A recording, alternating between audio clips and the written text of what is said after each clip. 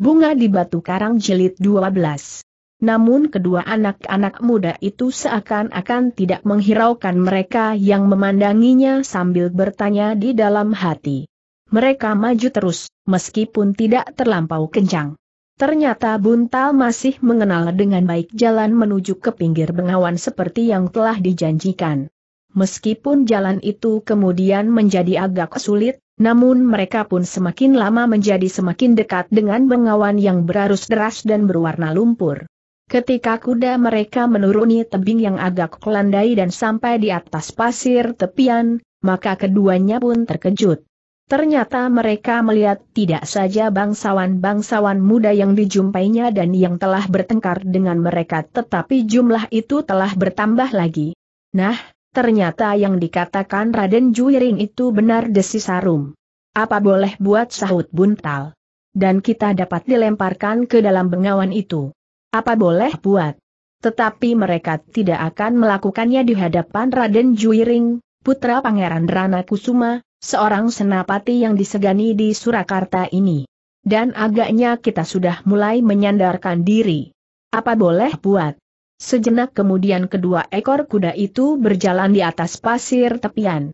Perlahan-lahan keduanya maju mendekati segerombol bangsawan-bangsawan muda yang sudah menunggu. Ha, ternyata keduanya datang berteriak salah seorang dari mereka. Apakah yang seorang itulah Arum? Nampaknya seperti seorang laki-laki. Seorang bangsawan muda tiba-tiba saja meloncat naik ke punggung kudanya dan menyongsong buntal. Beberapa langkah di hadapannya ia berteriak, yang seorang adalah gadis itu.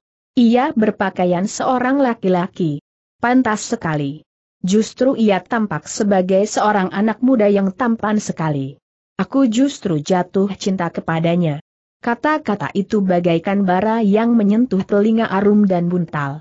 Tetapi mereka berdua sama sekali tidak menyaut.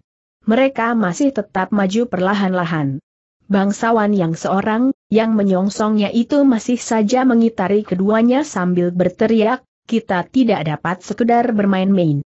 Agaknya anak ini yakin benar akan dirinya. Arum dan Buntal masih berdiam diri.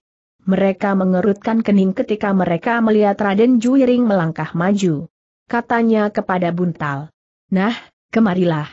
Kita akan membuat perjanjian. Perjanjian seorang laki-laki. Bangsawan muda yang berkuda di sebelah Arum itu berkata, tidak ada yang menyebut aku seorang perempuan. Sedangkan gadis ini pun berpakaian seperti laki-laki.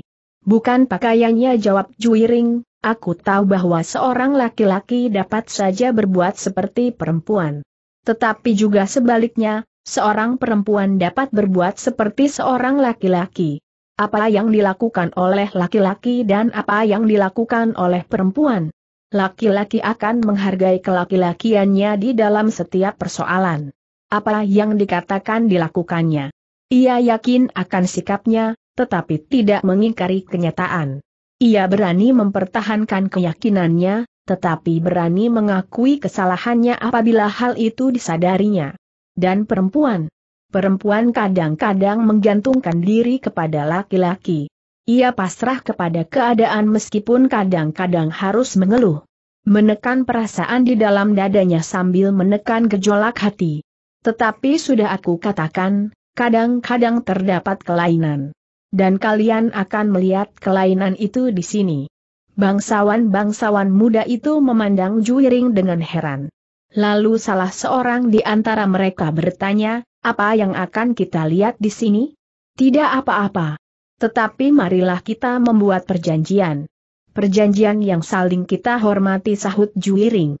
Oh bangsawan muda yang bertubuh kekar itu pun maju selangkah, aku tahu, kau menyangka bahwa kami akan berbuat curang. Itulah yang kau maksud, bahwa kita akan melihat kelainan di sini. Syukurlah jika hal itu tidak terjadi. Kau sudah menghina kami. Dan kami tidak rela membiarkan diri kami mendapat penghinaan semacam itu. Karena itu kalian harus membuktikan, bahwa aku keliru. Persetan, suruh anak itu turun dari kudanya. Kita akan melihat, siapakah yang curang dan licik. Juiring mengangguk-angguk sambil menyahut, ya. Biarlah ia mendekat. Buntal yang sudah ada di dekat segerombol anak-anak muda itu pun meloncat turun dari kudanya diikuti oleh Arum. Sekilas mereka masih melihat warna-warna merah yang tersangkut di bibir Mega yang bergumpalan menghiasi langit yang jernih. Cepat katakan geram bangsawan muda yang bertubuh kekar itu, apakah yang kita jadikan syarat dari perkelahian ini? Aku sudah tidak sabar lagi. Kita saling menghormati sahut Juiring, yang kalah harus segera menyatakan kekalahannya dan yang menang tidak akan berbuat lebih banyak lagi. Itu agaknya syarat yang paling lunak, tetapi memadai. Persetan desis anak muda yang bertubuh kekar itu, selebihnya. Tidak ada.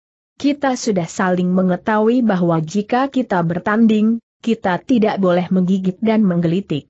Cukup bentak anak muda yang masih ada di punggung kuda, yang semula menyongsong buntal dan arum, kau menganggap kami seperti kanak-kanak yang baru pandai berjalan.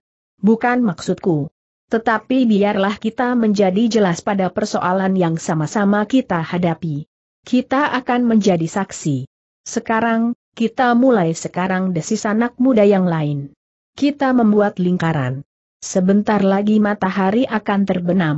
Dan kita harus sudah mulai kita akan menguji siapakah yang memiliki indera lebih tajam di dalam kegelapan. Demikianlah maka anak-anak muda itu pun segera membuat sebuah lingkaran. Mereka berdiri di atas pasir yang basah dengan hati yang berdebar-debar. Cepat, masuk ke dalam arna berkata salah seorang dari mereka. Bangsawan muda yang bertubuh kekar itu pun segera masuk ke dalam lingkaran. Juiring yang berdiri di pinggir lingkaran itu pun kemudian memanggil Buntal, masuklah. Lawanmu sudah siap. Kita hanya ingin melihat, apakah jika kalian dibiarkan berkelahi, yang sedang memiliki kekuasaan dan kewenangan selalu menang. Kau jangan selalu menghina kami bentak anak muda yang bertubuh kekar itu. Lalu, kenapa bukankah saja yang memasuki arena?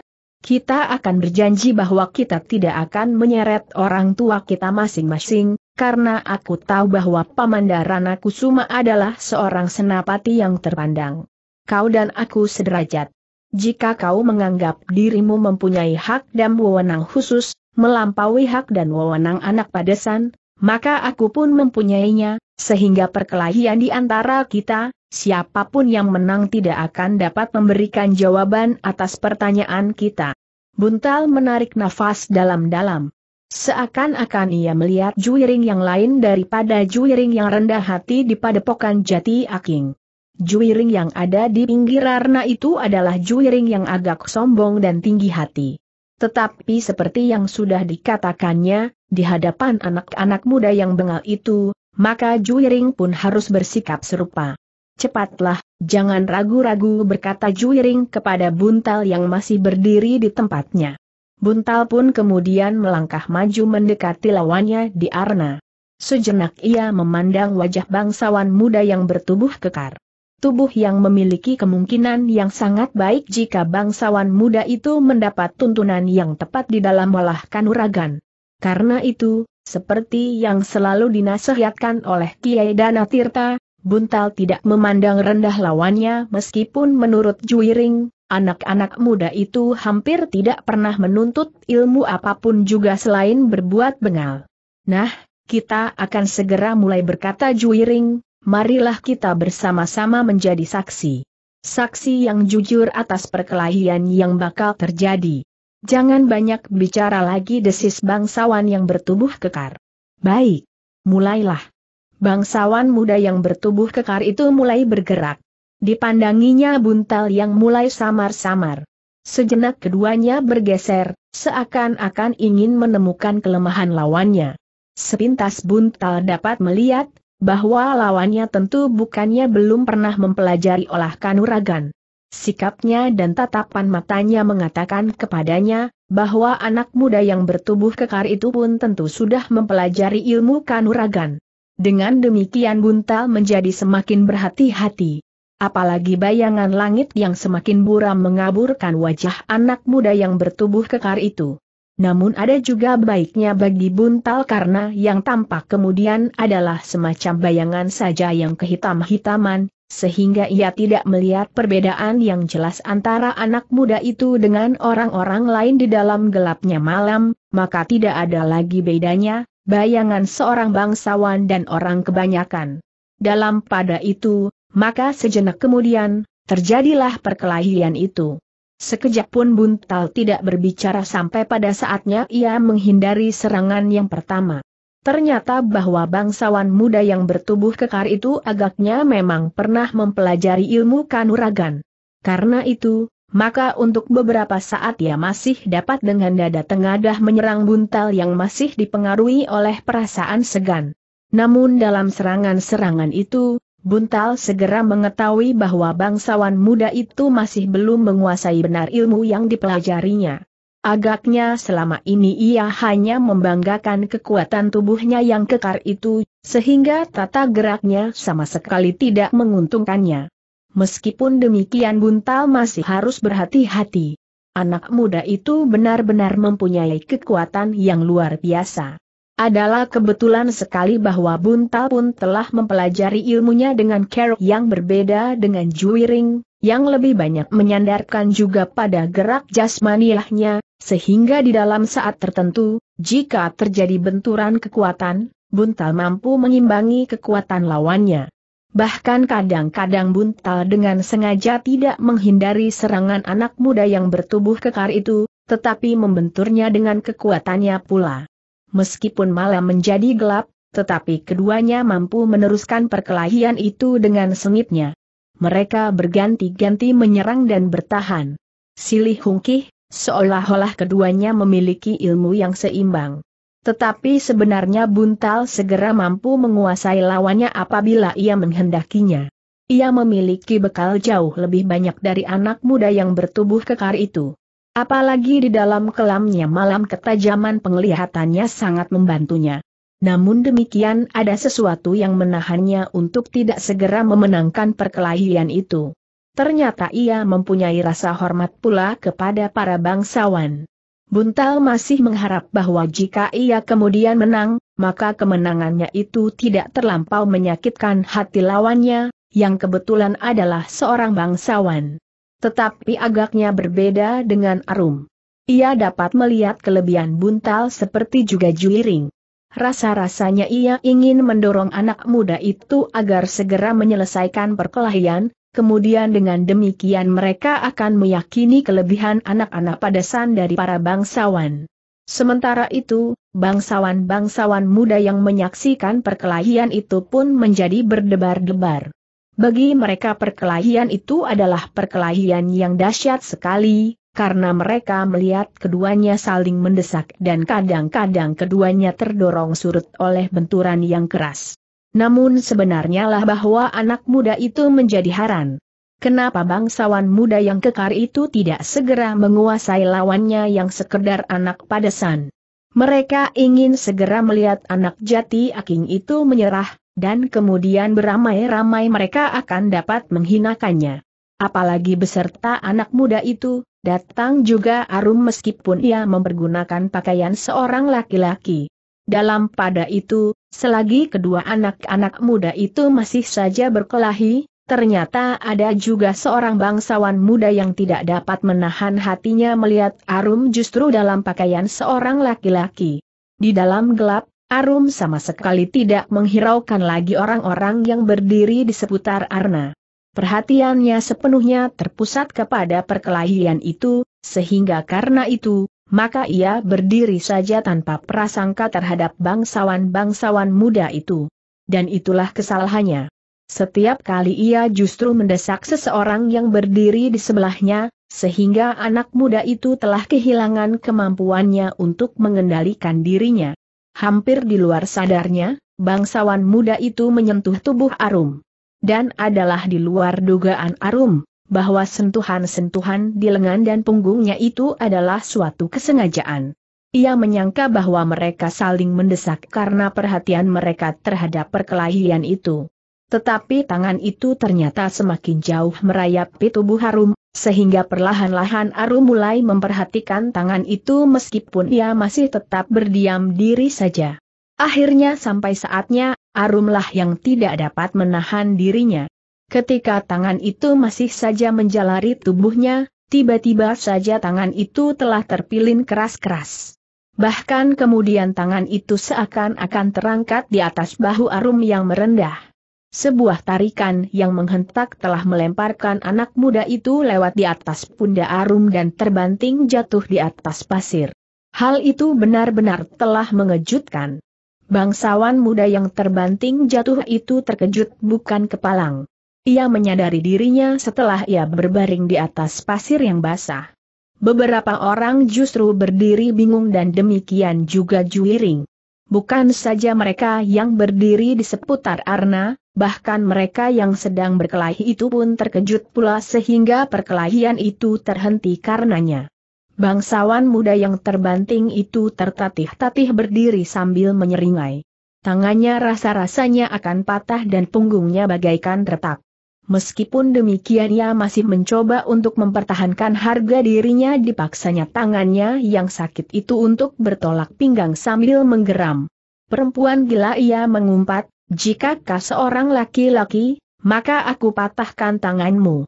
Cobalah jawab Parum, kitalah sekarang yang berkelahi di Arna.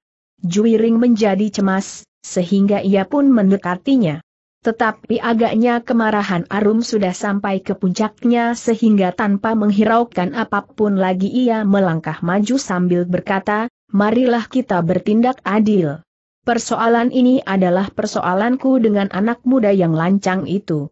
Sebenarnya kamilah yang harus menyelesaikannya bukan orang lain bukan Kakang Buntal dan bukan anak muda yang lain. Tetapi kami yang memang mempunyai persoalan. Kemudian aku telah terpaksa membuka persoalan yang lain. Anak muda ini pun agaknya anak muda yang lancang. Setelah perkelahian yang pertama, aku akan melawan orang kedua ini. Bangsawan-bangsawan muda yang berdiri melingkar itu terkejut bukan kepalang. Ternyata gadis ini benar-benar memiliki sesuatu yang dapat dipercaya. Karena itulah maka mereka pun menjadi termangu-mangu untuk beberapa saat. Dalam pada itu maka Juiring pun kemudian mendekatinya. Dengan hati-hati ia berkata, sabarlah Arum. Akulah yang dihinakannya. Dan akulah yang paling berhak membersihkan namaku. Juiring menarik nafas dalam-dalam. Ia sudah mengenal sifat Arum. Namun demikian ia tidak dapat membiarkan Arum terseret oleh perasaannya. Karena itu maka katanya kemudian, di dalam persoalan ini, kita mempunyai care tersendiri, Arum. Dan kita sedang mencoba menempuh jalan yang paling baik bagi kita. Tetapi tidak paling baik bagiku. Mungkin Kakang Buntal dapat memenangkan perkelahian itu, karena seharusnya ia sudah sejak perkelahian itu dimulai, dapat menjatuhkan lawannya tetapi agaknya ia merasa segan melakukannya. Tetapi kemenangan Kakang Buntal adalah penyelesaian sementara bagiku. Karena apabila aku sedang berjalan sendiri di mana pun, mungkin akan mereka jumpai, maka akan timbul persoalan serupa jika aku sendiri tidak mencoba menyelesaikannya. Dada Juiring menjadi semakin berdebar-debar. Tetapi ia harus mencegahnya. Jika Arum tidak dapat mengendalikan diri, maka tingkah lakunya akan dapat menyinggung perasaan anak-anak muda itu sehingga persoalannya akan berkembang semakin luas. Namun dalam pada itu, sebelum Juiring sempat berkata sesuatu lagi, mereka terkejut oleh suara bernada tinggi dari kegelapan, sehingga serentak mereka berpaling.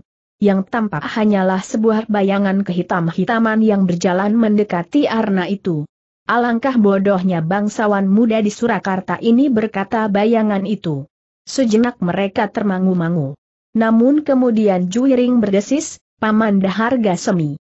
Dan hampir berbareng anak-anak muda yang lain pun berdesis, Pamanda Pangeran Harga Semi. Bayangan itu pun menjadi semakin dekat. Dalam keremangan malam tampaklah seorang pangeran yang masih muda berdiri sambil bertolak pinggang. Terdengar ia tertawa pendek. Lalu katanya pula, kalian tidak melihat kenyataan yang terjadi di hadapan kalian. Bangsawan muda itu pun segera mengerumuninya. Bagi bangsawan muda yang berada di pinggir bengawan itu, Pangeran Harga Semi telah memberikan sesuatu yang rasa-rasanya menyenangkan. Mereka tidak tahu apa yang akan dilakukannya. Namun karena sehari-hari Pangeran Harga Semi merupakan kawan bermain yang baik, maka mereka pun menyambutnya dengan gembira. Berbeda dengan mereka adalah Juiring. Meskipun Juiring tidak terlampau banyak mengenal pangeran yang masih muda itu, namun sedikit banyak ia pernah mendengar bahwa pangeran harga semi adalah kawan yang baik bagi anak muda yang bengal itu dan terlebih-lebih lagi pangeran muda itu adalah sahabat yang sangat dekat dengan kumpeni. Tetapi yang terlebih mendebarkan jantung, pangeran harga semi memiliki ilmu olah kanuragan yang tinggi. Sejenak pangeran harga semi memandang Juiring. Lalu katanya, Juwiring sekarang menjadi semakin tampan setelah ia berada di padepokan Jati Aking. Melihat anak-anak padasan itu berkelahi maka kita pun seharusnya dapat mengambil kesimpulan, bahwa Juwiring tentu memiliki ilmu kanuragan padasan yang kasar itu. Juwiring tidak menyahut, meskipun dengan susah payah ia menahan hatinya. Dalam pada itu Buntal dan Arum pun menjadi terheran-heran. Mereka mendengar bagaimana bangsawan-bangsawan muda itu menyebut orang yang baru saja datang itu. Karena itu, mereka masih juga menyadari bahwa mereka tidak dapat berbuat tanpa pertimbangan lebih jauh terhadap seorang pangeran meskipun masih cukup muda. Kalian ternyata terlampau dungu berkata pangeran harga semi itu, sudah lama aku melihat perkelahian di Arna. Aku melihat juga bagaimana gadis itu membanting lawannya dalam sekejap pangeran muda itu berhenti sejenak, lalu, seharusnya kalian menyadari bahwa kalian bukanlah lawan mereka. Anak muda yang berkelahi di Arna itu sebenarnya sama sekali tidak berimbang. Anak jati aking itu masih menaruh hormat kepada lawannya karena lawannya adalah seorang bangsawan seperti yang dikatakan oleh gadis itu. Dan tidak ada seorang pun di antara kalian yang dapat mengalahkan gadis itu. Nah, siapa yang tidak percaya dapat mencobanya? Tidak seorang pun yang menyahut, sedang Juiring, Buntal dan Aru masih saja berdiri termangu-mangu. Pangeran Harga Semi mengangguk-anggukan kepalanya. Katanya, bagus. Kalian harus menyadari bahwa gadis itu memang memiliki kelebihan. Karena itu, kalian tidak usah mencoba menyentuhnya jika tangan kalian tidak ingin dipatahkannya tiba-tiba saja pangeran harga semi itu tertawa. Suara tertawanya terdengar aneh dan tanpa disadarinya bulu-bulu kulit Arum pun terasa meremang. Ah, sudah barang tentu, gadis seperti Arum itu dapat mengadakan sayembara tanding. Siapa yang dapat mengalahkan saudara-saudara seperguruannya termasuk Juiring, ia akan dapat memilikinya. Atau barangkali sayembaranya akan berbunyi, siapa yang dapat mengalahkan dirinya? Gila Arum menggeram. Juiring berpaling. Ia mencoba memberi isyarat agar Arum mencoba menahan diri. Tetapi di dalam kegelapan isyarat itu tidak tertangkap oleh Arum. Pangeran Harga Semi masih tertawa. Katanya, gadis itu memang agak liar. Tetapi menyenangkan. Hi, siapa yang jatuh cinta kepadanya? Bangsawan-bangsawan muda itu saling berpandangan sejenak. Namun suasananya tiba-tiba telah berubah dengan kehadiran Pangeran Harga Semi. Bahkan ketika Pangeran Harga Semi tertawa lebih keras lagi, beberapa orang yang lain telah tertawa pula. Ayo, siapa yang akan memasuki sayembara tanding? Tidak ada? Jika tidak ada, akulah yang akan memasuki sayembara tanding itu. Dan aku akan memilih lawan yang paling tangguh. Juiring. Tentu Juiring lah yang paling sempurna di antara murid-murid guru olah kanuragan pada san terpencil itu. Jika aku kalah, aku menyerah meskipun aku akan dilemparkan ke dalam bengawan. Tetapi jika aku menang, aku akan mendapatkan arum. Nah, jika aku mendapatkannya, kalian, anak-anak muda yang telah bersusah payah berkerumun di sini tidak usah cemas. Pangeran muda itu tertawa, dan bangsawan muda yang lain pun tertawa riuh. Lalu, jika ayahnya marah, biarlah aku yang menyelesaikan. Jika ia mempunyai sepasukan cantrik, aku akan meminjam tiga orang kumpeni. Tak ada orang yang dapat melawan kumpeni sekarang. Betapa tinggi ilmunya, jika tubuhnya tersentuh peluru, maka ia pun akan mati. Cukup teriak Arum yang tubuhnya menjadi gemetar, aku akan berkelahi sampai mati. Tetapi Pangeran Harga Semi tertawa, jangan mati. Aku dapat mengalahkanmu tanpa membunuhmu. Kemarahan Arum tiba-tiba telah membakar ubun-ubunnya. Tetapi dengan demikian mulutnya justru seakan-akan tersumbat karenanya. Dalam pada itu, tanpa disadari, berbareng Juiring dan Buntal melangkah mendekati Arum. Memang tidak ada care lain daripada mempertahankan kehormatan itu dengan apa saja yang dimilikinya, termasuk nyawanya. Tetapi Pangeran Harga Semi tidak menghiraukannya. Katanya, kalian akan menjadi saksi. Dan untuk itu kalian akan mendapat upah daripadaku nanti. Nanti atau besok atau lusa. Suara tertawa pun meledaklah di pinggir bengawan itu.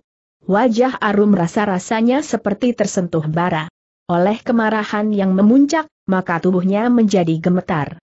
Nah, baiklah kalian bertiga berkelahi bersama-sama.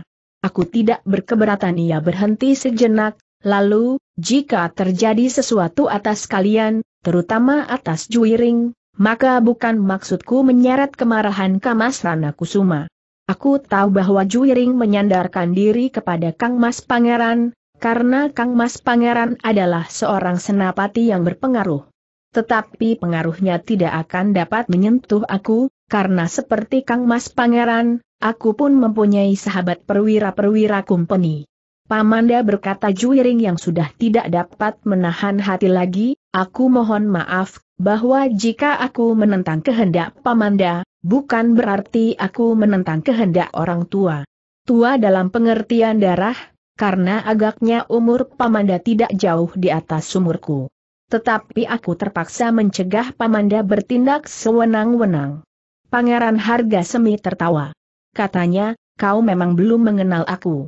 Aku memiliki kemampuan berkelahi melawan kau bertiga. Bahkan lipat dua sekalipun. Karena itu jangan berusaha mencegah aku. Pamanda. Apakah demikian contoh yang Pamanda berikan kepada kami, anak-anak muda ini. Pangeran yang masih muda itu tertawa terbahak-bahak. Suaranya menggelepar di sepanjang tepi bengawan. Katanya di sela derai tertawanya, jangan berbicara tentang anak-anak muda, tentang contoh yang baik dan yang buruk. Sekarang marilah kita berbicara dengan jujur. Aku ingin gadis itu. Itu adalah pengakuan yang jujur. Dan anak-anak muda memang harus jujur. Itukah kejujuran yang Pamanda ajarkan kepada kami? Juga seandainya kami ingin mengambil Kang Jeng Kiai Pelerat sekalipun. Karena kami ingin jujur, maka kami harus datang menghadap Kang Jeng Susuhunan dan mohon untuk mengambil tombak itu. Jangan banyak bicara lagi. Kau tidak dapat melawan aku dipandang dari segala segi. Derajatku lebih tinggi, karena aku pangeran. Umurku lebih tua meskipun sedikit, dan ilmuku lebih mantap dari ilmumu. Nah, kau mau apa? Kau tidak dapat berbuat apa-apa. Aku adalah seorang pangeran. Darah Juiring tiba-tiba telah mendidih. Meskipun dia menyadari bahwa Pangeran Harga Semi adalah seorang anak muda yang memiliki ilmu yang hampir sempurna, namun ia tidak mempunyai jalan lain. Namun sekali lagi tepian itu diguncang oleh suara tertawa berkelanjangan. Suara itu datang dari sebuah rakit di pinggir bengawan. Rakit yang tiba-tiba saja berada di tempat itu tanpa diketahui kapan datangnya. Kini semua mata tertuju ke arah rakit itu. Sebuah pelita minyak terletak di ujungnya di sebelah pelita itu duduk seseorang sambil memeluk lututnya. Para bangsawan yang ada di tepian bengawan itu menjadi termangu-mangu sejenak. Seolah-olah mereka telah melihat sesuatu yang tidak sewajarnya. Suara tertawa itu pun kemudian mereda. Orang yang berada di dalam rakit itu masih duduk sambil memeluk lututnya di sebelah pelita minyak yang menyala. Pangeran Harga Semi yang merasa dirinya mempunyai kemampuan yang tanpa tanding di antara para bangsawan itu pun kemudian melangkah maju. Didekatinya rakit yang berhenti di pinggir bengawan itu sambil bertanya, siapakah kau? Orang di atas rakit itu masih belum menjawab, siapa kau, dan apakah maksudmu mengganggu kami yang sedang bermain-main? Maaf pangeran jawab orang itu, bukan maksud kami mengganggu pangeran yang sedang bermain bersama para bangsawan muda dari Surakarta ini. Tetapi aku sangat tertarik kepada permainan yang Chuan lakukan. Apakah yang telah menarik perhatianmu? Permainan itu sendiri. Agaknya pangeran sedang bermain kekuasaan di sini ada dua orang anak-anak dari Padesan. Seorang laki-laki dan seorang perempuan di antara sekian banyak bangsawan muda, bahkan ada seorang pangeran yang masih muda pula, tetapi hanya seorang sajalah yang berpihak kepada kedua anak Padesan itu. Itulah yang menarik. Menurut pendapatku permainan itu kurang adil. Bagaimana jika jumlah para bangsawan yang ada itu dibagi? Kemudian beradu binten. Atau bantingan di atas pasir. Siapa kau hi? Apa kepentinganmu dengan permainan kami ini? Tidak apa-apa. Tetapi sama sekali tidak adil. Kau salah. Kami tidak bersama-sama bermain melawan kedua anak-anak padasan itu.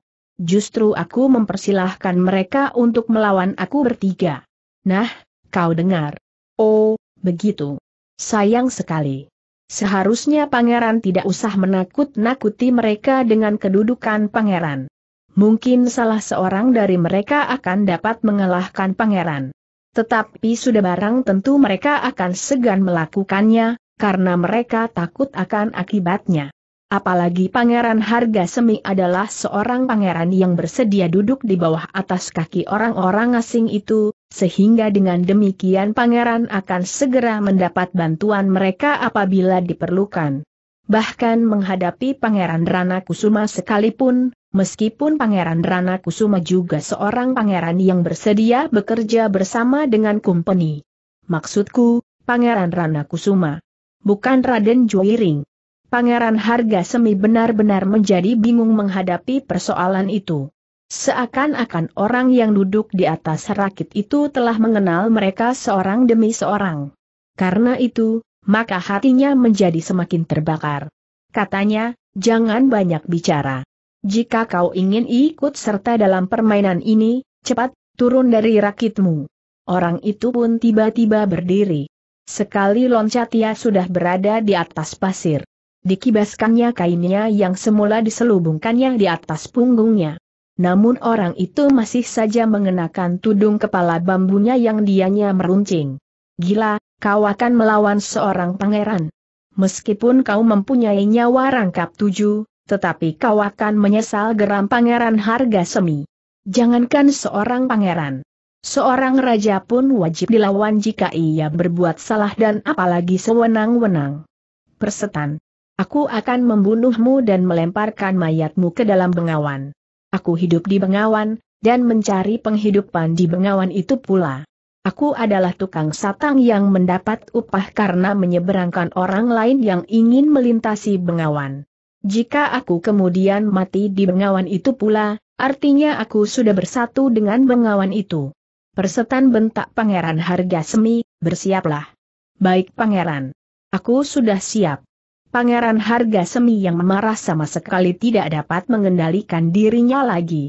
Sebagai seorang anak muda yang berilmu, maka ia pun tidak ragu-ragu lagi menghadapi lawannya, seorang tukang satang. Karena itu, maka ia pun segera meloncat menyerang tukang satang yang telah berani mengganggunya itu. Namun Pangeran Harga Semi itu terkejut bukan buatan. Serangan yang dilambari dengan kemarahan yang meluap itu sama sekali tidak berhasil menyentuh lawannya. Bahkan hampir tanpa diketahuinya, lawannya telah beringsut di sisinya sambil berkata, ilmu pangeran memang dahsyat sekali. Pantas pangeran berani menantang anak-anak itu untuk melawan bertiga. Tutup mulutmu pangeran harga semi berteriak. Tetapi orang itu justru tertawa sambil berkata, jangan marah. Aku berkata sebenarnya. Kau memang memiliki kemampuan yang luar biasa dibanding dengan usia pangeran yang muda itu. Pangeran harga semi tidak menjawab. Tetapi ia menyerang semakin dahsyat. Namun serangannya itu bagaikan sia-sia saja. Malam yang gelap itu seakan-akan menjadi semakin gelap, sehingga kadang-kadang ia telah kehilangan lawannya dan tiba-tiba saja lawannya itu telah berada di belakangnya atau di sampingnya sambil tertawa pendek. Sikap itu benar menyakitkan hatinya. Kemarahan yang melonjak-lonjak di dadanya membuat pangeran harga semi semakin kehilangan pengendalian diri. Namun demikian, ia sama sekali tidak berdaya menghadapi lawannya. Seorang tukang satang. Para bangsawan yang memperhatikan perkelahian itu menjadi termangu-mangu. Mereka pun menyadari, bahwa Pangeran Harga Semi tidak mampu mengimbangi lawannya. Sekali-sekali mereka terpaksa menahan nafas jika mereka melihat Pangeran Harga Semi kehilangan lawannya. Namun dengan sangat terperanjat meloncat memutar tubuhnya ketika ia sadar bahwa lawannya sudah berada di belakangnya. Semakin lama semakin ternyata bahwa Pangeran Harga Semi bukan lawan orang yang menyebut dirinya tukang satang itu. Nafas pangeran muda itu menjadi terengah-engah dan bahkan rasa-rasanya telah terputus di kerongkongan. Sedang orang yang menyebut dirinya tukang satang itu masih tetap segar dan sekali-sekali masih terdengar suara tertawanya. Nah katanya kemudian, apakah pangeran masih akan bermain lebih lama lagi? Persetan geram pangeran harga semi di sela-sela nafasnya yang hampir terputus. Aku rasa permainan kita sudah cukup lama. Karena itu, Sebaiknya kita mengakhirinya saja berkata tukang satang itu kemudian, tetapi dengan syarat. Jangan ganggu anak-anak jati aking itu. Kedua anak padasan yang kau anggap tidak berharga, bahkan dapat dihinakan seperti yang sudah kau lakukan, dan yang seorang adalah kemanakanmu sendiri. Raden Juiring. Jika kau berjanji, aku tidak akan berbuat apa-apa. Gila, itu urusanku. Berjanjilah dengan janji jantan. Itu urusanku.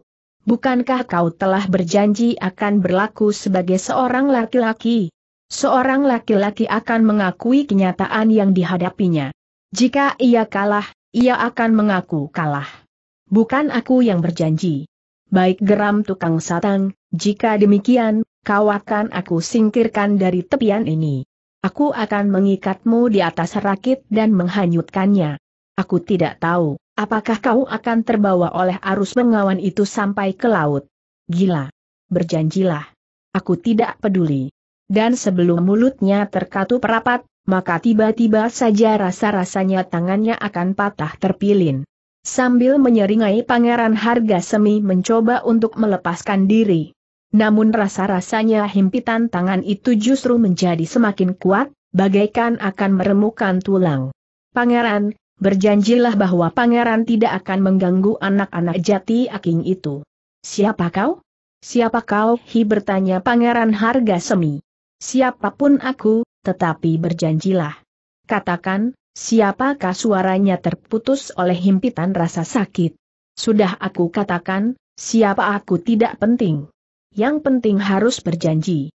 Pangeran harga semi tidak dapat menahan rasa sakit di tangannya.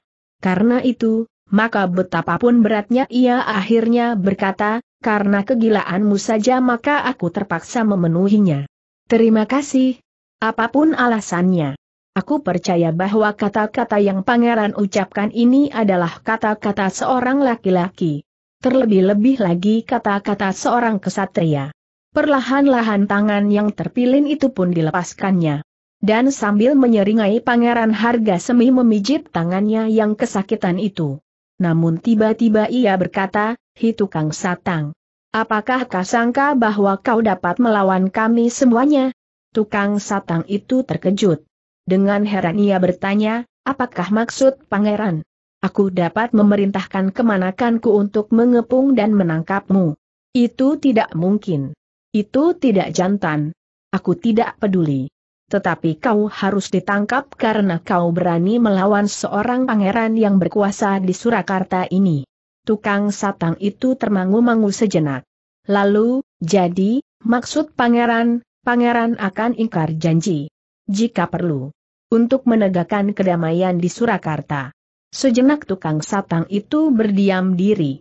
Namun kemudian, suatu masa yang suram benar-benar telah melanda Surakarta. Seorang bangsawan tertinggi di Surakarta sudah tidak memenuhi janjinya. Ini adalah pertanda yang buruk bagi kerajaan yang sudah rapuh ini. Sebentar lagi pasar akan kehilangan gemanya, dan telaga akan kehilangan mata airnya.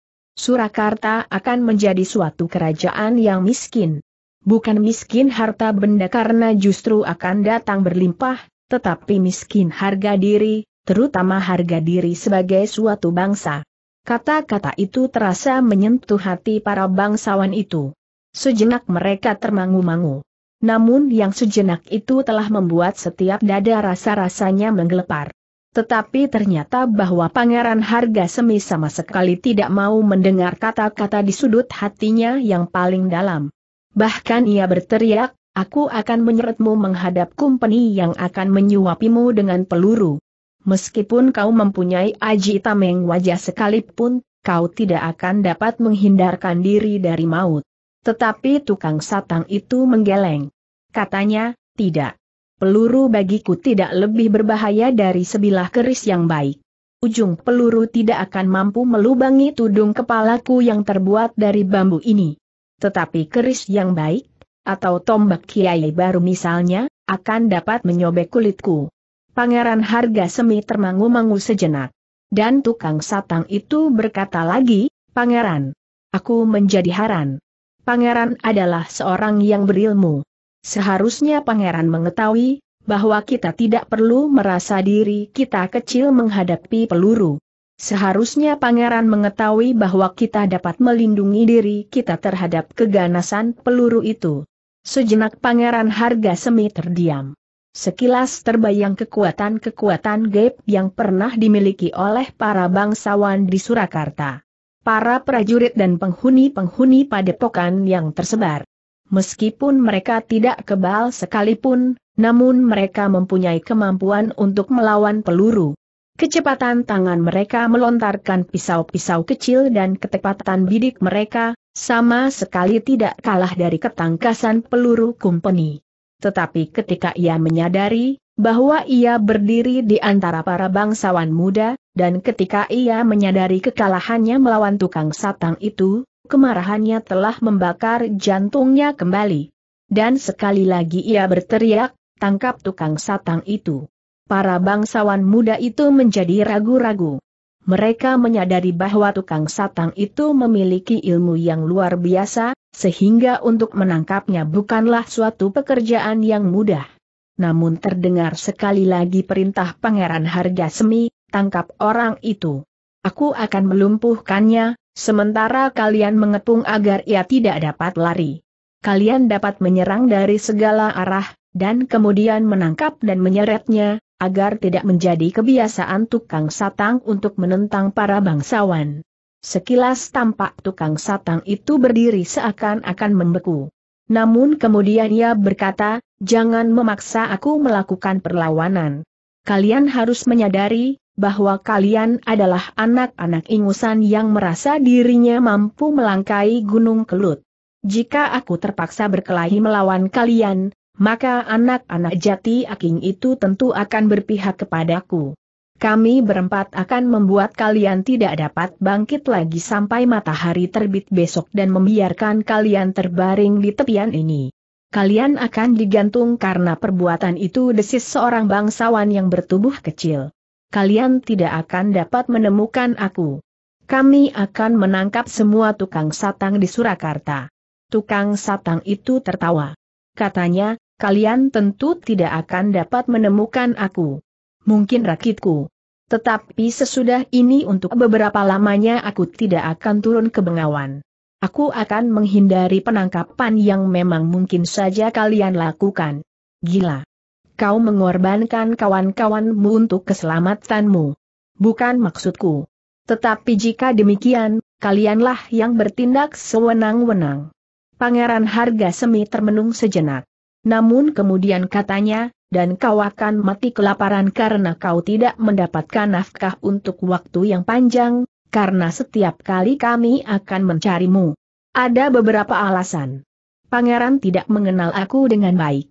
Ada berpuluh-puluh orang tukang satang yang berpakaian seperti aku. Kemudian, aku tidak akan kelaparan meskipun aku tidak turun ke Bengawan untuk waktu yang lama, karena aku juga seorang petani yang dapat hidup dari hasil sawahku. Apakah dengan demikian pangeran juga akan menangkap semua petani di Surakarta? Atau barangkali di daerah yang lebih sempit, aku adalah petani dari Sukawati. Pengakuan itu bagaikan guru yang meledak di atas tepian. anak-anak dari Jati Aking itu terkejut bukan buatan. Mereka sudah pernah mengenal petani dari Sukawati. Tetapi tiba-tiba saja di malam hari mereka sama sekali tidak dapat mengenalnya. Karena itu maka mereka pun segera mencoba untuk mengamatinya di dalam gelapnya malam. Tetapi, rasa-rasanya orang yang menyebut dirinya petani dari Sukawati ini memang agak lain. Orang ini agaknya lebih pendek sedikit dari orang yang dikenalnya bernama petani dari Sukawati itu. Tudung kepalanya yang tinggi itulah barangkali yang membuat ia agak lain. Biasanya ia memakai caping yang rendah berkata juiring di dalam hatinya. Namun dalam pada itu bukan saja ketiga anak-anak jati aking itu yang terkejut mendengar pengakuan tukang satang yang menyebut dirinya juga sebagai petani dari Sukawati. Beberapa orang di antara mereka pernah mendengar nama itu. Pernah mendengar seseorang menyebut dirinya petani dari Sukawati tanpa menyebut nama sebenarnya. Rudira yang pertama-tama menjumpainya pernah bercerita kepada saudara-saudaranya tentang orang yang menyebut dirinya petani dari Sukawati itu. Karena itu, maka dada mereka menjadi semakin berdebaran. Pangeran Harga Semi yang merasa dirinya paling tua di antara para bangsawan kemanakannya itu pun berdiri termangu-mangu untuk beberapa lamanya. Nah Pangeran berkata petani dari Sukawati, Pangeran dapat menangkap semua petani dari Sukawati. Tetapi kami adalah rakyat yang tinggal di dalam daerah kalenggahan Pangeran Mangkubumi.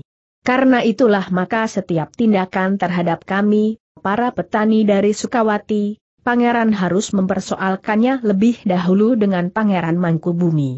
Pangeran Harga Semi masih tetap berdiam diri. Ia menjadi bingung menghadapi keadaan yang tidak terduga-duga itu. Karena itu, maka untuk beberapa lamanya ia berdiri saja seperti patung. Dalam pada itu, terdengar tukang satang yang juga menyebut dirinya petani dari Sukawati itu berkata, Sudahlah pangeran kita hentikan persoalan ini sampai di sini.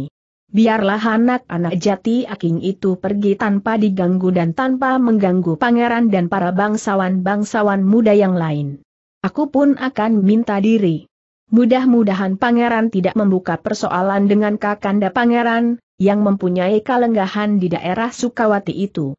Jika pangeran berurusan dengan pangeran Mangkubumi, maka pangeran agaknya akan menyesal, karena pangeran sudah mengetahui sikap dan pendirian pangeran Mangkubumi. Pangeran Harga Semi sama sekali tidak menjawab. Dan orang itu berkata kepada Juwiring, Nah Raden Juwiring, bawalah kedua anak itu kembali. Udara malam di pinggir bengawan ini agaknya kurang baik bagi mereka dan bagi Raden Juwiring sendiri. Juwiring menjadi ragu-ragu sejenak. Namun orang itu berkata, silahkan. Aku pun akan pergi dari tempat ini. Mungkin malam ini aku masih menemukan satu dua orang kemalaman yang akan menyeberang. Juiring yang termangu-mangu itu pun kemudian menjawab, terima kasih. Orang itu tertawa. Katanya, selamat malam lalu kepada Pangeran Harga Semi ia berkata, ingat, jangan ganggu lagi anak-anak itu. Selamat malam. Tukang satang itu pun kemudian melangkah surut beberapa langkah. Kemudian ia pun meloncat dan berlari di tepian yang basah kembali ke rakitnya. Namun beberapa langkah kemudian ia berhenti sebelum ia meloncat ke atas rakitnya. Sejenak ia termangu-mangu. Lalu sambil berpaling ke dalam kegelapan ia berkata, Hi, kenapa kau berada di situ? Semua orang yang melihatnya berpaling pula ke arah pandangan mata tukang satang itu. Tetapi mereka tidak melihat sesuatu. Baiklah berkata tukang satang itu, aku akan pergi lebih dahulu.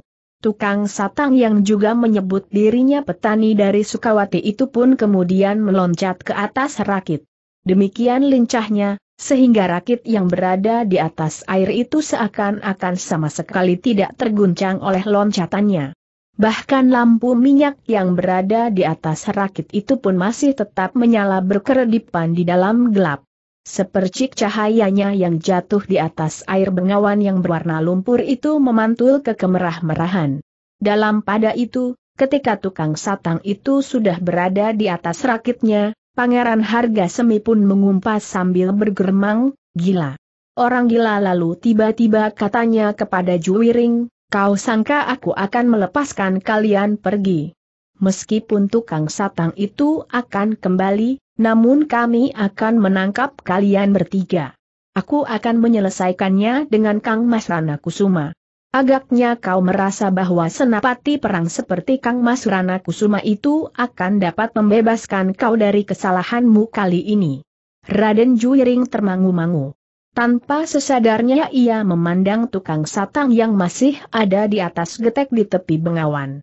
Kau mengharap bantuannya? Aku tidak peduli siapakah petani dari Sukawati itu. Namanya sesaat dapat mempesona kami.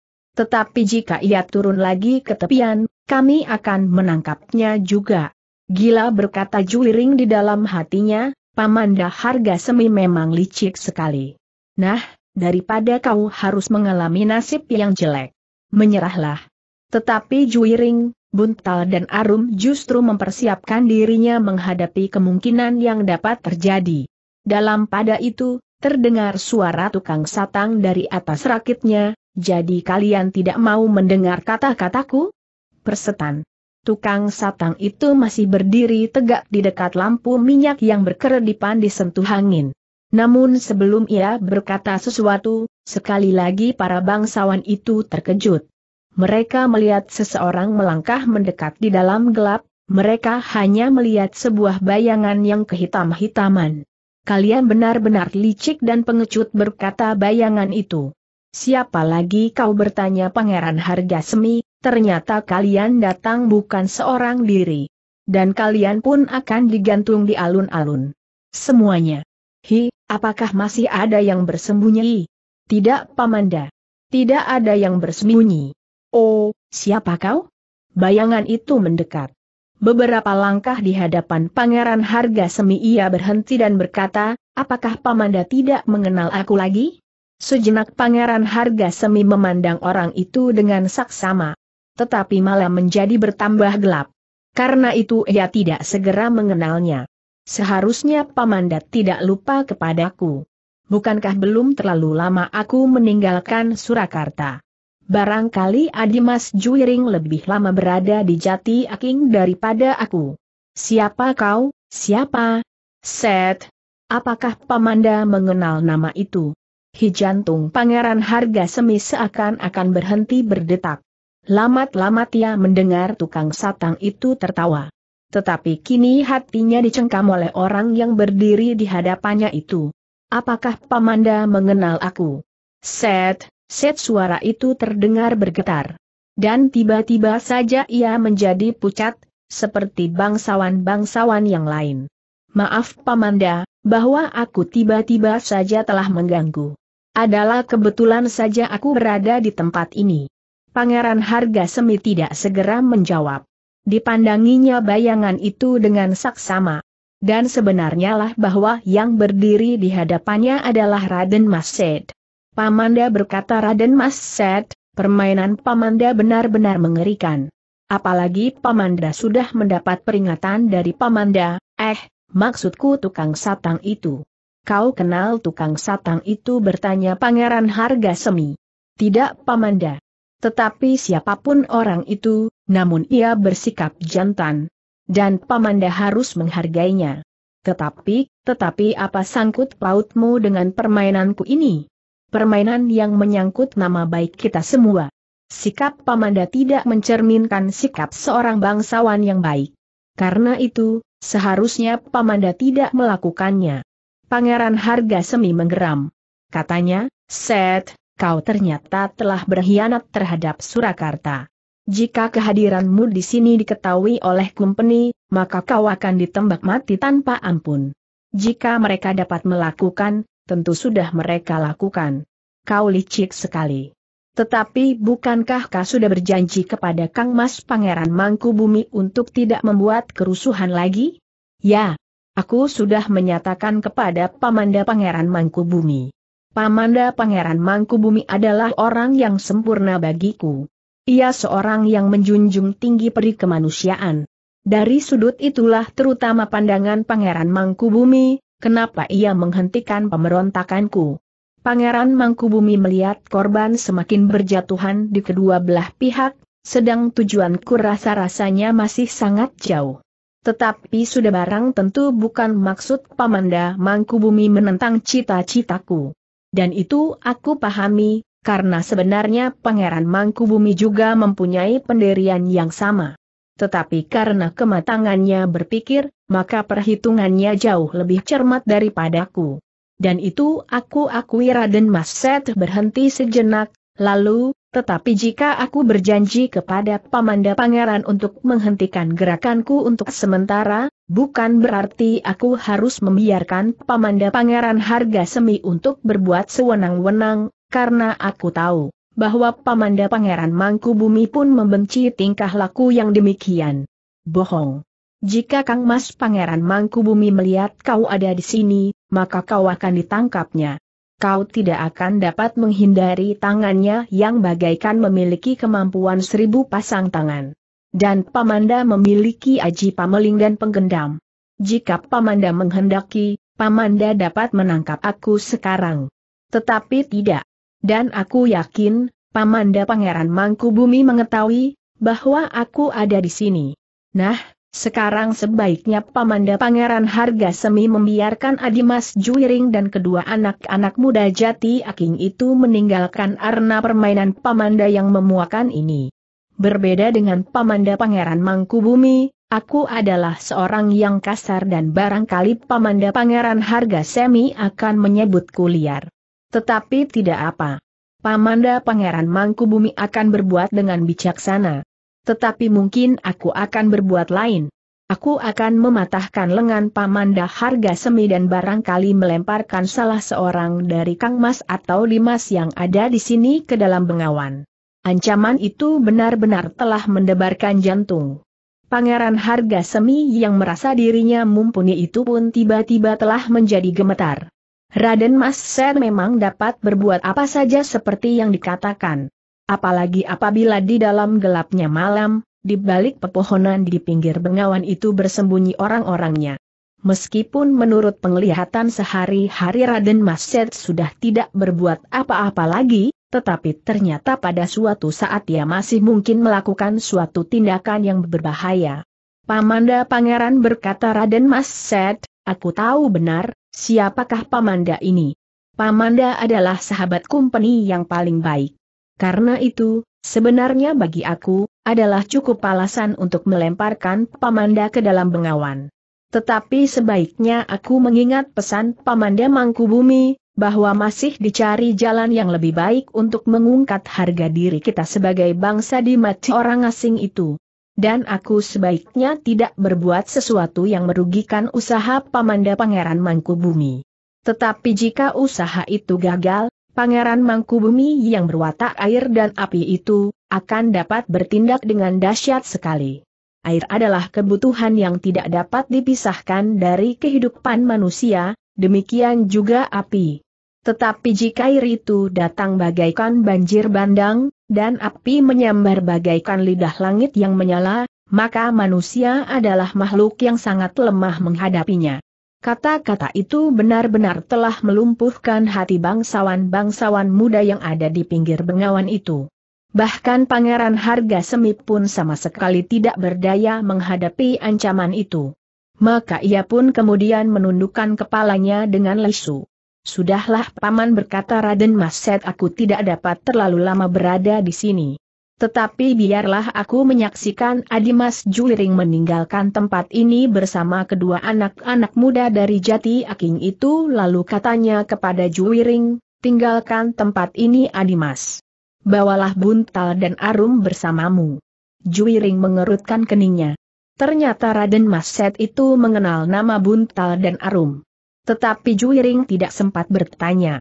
Karena Set berkata, cepat, sebelum ada sikap yang dapat membakar dadaku, dan membuat aku kehilangan kekang atas diriku sendiri menghadapi bangsawan-bangsawan cengeng itu.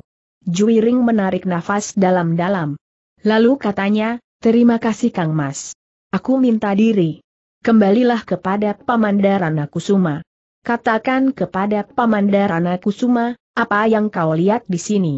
Bukan maksudku menentang Pamandarana Kusuma, senapati yang sulit dicari tandingnya di peperangan. Tetapi sekedar mohon agar Pamandarana Kusuma menjadi lebih mengerti menghadapi pengkhianat-pengkhianat seperti aku ini. Juiring menjadi berdebar-debar. Pergilah Adimas. Mudah-mudahan kau menjadi sumber kesadaran Pamandarana Kusuma, bahwa sebenarnya lah ia sebangsa dengan aku dan dengan Pamanda Pangeran Mangkubumi. Meskipun dia seorang senapati yang pilih tanding, tetapi aku masih berharap bahwa pada suatu saat Pamandarana Kusuma menyadari kediriannya. Juiring mengangguk-anggukan kepalanya. Katanya, aku akan mencoba Kang Mas. Nah, pergilah. Juiring pun kemudian berpaling kepada Buntal dan Arum yang menghayati peristiwa itu dengan hati yang tersentak-sentak. Marilah kita pergi. Buntal dan Arum tidak menyaut. Namun hampir di luar sadarnya mereka berpaling memandang ke tepi bengawan. Ternyata rakit yang semula berada di situ dengan sebuah lampu minyak dan tukang satang yang menyebut dirinya petani dari Sukawati itu sudah tidak ada di tempatnya. Rakit itu sudah tidak ada desi sarum. Ya jawab buntal sambil meloncat ke punggung kudanya. Sejenak kemudian ketiga ekor kuda itu pun berderap meninggalkan tepian yang basah itu dengan kesan yang aneh di hati ketiga anak-anak muda itu. Ternyata di perut kota Surakarta ini tersimpan berbagai macam isi desi sarum. Kau baru melihat sebagian sahut Juiring. Apalagi yang penting? Andrawina, kembul dahar dan semacamnya di samping kemelaratan dan ketakutan tetapi juga perjuangan dan usaha yang tidak henti-hentinya seperti yang baru saja kita lihat. Ya, aku telah salah duga terhadap Surakarta berkata Arum, ternyata Surakarta bukan sebuah lumbung orang-orang yang pasrah, pengecut dan tamak. Ternyata di sini ada anak-anak muda yang terjaga seperti Raden Mased. Dengan demikian kita masih mempunyai harapan. Juga terhadap petani dari Sukawati itu petani yang aneh desis buntal, apakah keadaan semacam itulah yang dapat disebut seseorang mampu mencela putra mencela putri? Mungkin. Tetapi petani dari Sukawati itu memang menyimpan seribu kemungkinan. Buntal mengangguk-anggukan kepalanya. Namun ia masih berdesis, apa yang kita lihat sekarang atas petani dari Sukawati itu ternyata berlainan dengan yang pernah kita lihat sebelumnya, dan mungkin sekali akan berbeda dengan yang akan kita lihat kemudian. Tetapi orang-orang yang memiliki ketajaman pandangan akan dapat mengenalnya. Tentu Kang Mas Set dapat mengenalnya pula. Agaknya memang demikian. Tetapi apakah Pangeran Harga Semi tidak dapat mengenalnya? Mungkin ia sama sekali tidak menduga, sehingga ia tidak menghubungkan petani dari Sukawati, yang datang sebagai tukang satang itu dengan pamanda Pangeran Mangkubumi. Buntal mengangguk-angguk. Kekagumannya kepada para pemimpin yang sebenarnya masih tetap bersikap, menjadi semakin besar. Meskipun agaknya untuk beberapa langkah di permulaan itu petani dari Sukawati dan Raden Maset tidak sejalan, tetapi agaknya mereka mempunyai arah yang sama. Dan seperti dikatakan oleh Raden Maset sendiri, Pangeran Mangkubumi mempunyai pertimbangan yang lebih matang dari pertimbangan seorang anak muda. Demikianlah mereka pun kemudian saling berdiam diri dalam cengkaman angan-angan masing-masing, sementara kuda-kuda mereka berlari-lari kecil di jalan kota yang mulai sepi. Lampu-lampu minyak berkeredipan di sudut-sudut jalan menerangi kota yang menjadi suram. Sementara itu, di tepi bengawan, Pangeran Harga Semi dan para bangsawan yang lain pun segera bersiap-siap meninggalkan tempat itu. Mereka dengan hati yang berdebar-debar melihat Raden Maset meninggalkan mereka. Tukang satang itu sudah pergi katanya sambil berpaling, tetapi jangan sangka bahwa kau dapat melepaskan diri dari pengawasannya. Petani dari Sukawati itu adalah orang yang dapat melihat apa yang ingin dilihatnya. Ia tidak terkekang oleh batas dan tempat. Dada pangeran harga semi dan kemanakan-kemanakannya menjadi semakin berdebaran. Tetapi mereka sama sekali tidak menyaut. Baru ketika Raden Maset hilang dari tatapan mata mereka, maka pangeran harga semi pun segera pergi ke kudanya yang diikat agak jauh dari tempat itu. Para bangsawan yang lain pun setelah mengambil kuda masing-masing segera mengikutinya. Aku tidak tahu, siapakah yang curang geram pangeran harga semi untuk melontarkan kekecilan diri, Set atau Kang Mas Mangkubumi. Menurut keterangan Kang Mas Mangkubumi, Set dan pengikut-pengikutnya sudah tidak akan mengganggu Surakarta lagi. Salah seorang bangsawan muda yang mengikuti Pangeran Harga Semi itu berdesis, apakah petani dari Sukawati itu dapat diserahkan saja kepada Pamanda Pangeran Mangkubumi?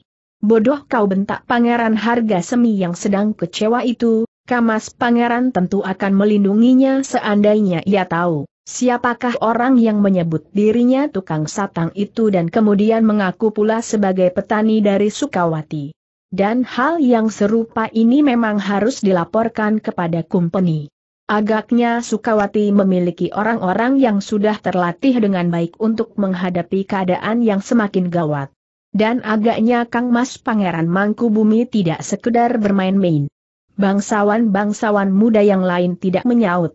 Ketika Pangeran Harga Semi kemudian meloncat ke punggung kuda, maka anak-anak muda itu pun segera berpacu meninggalkan tepi bengawan yang menjadi senyap dan gelap.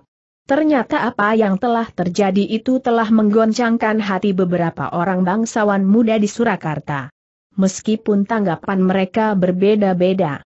Yang kemudian menjadi persoalan di dalam hati mereka, justru bukannya Arum dan Buntal yang dengan sengaja telah mereka lupakan.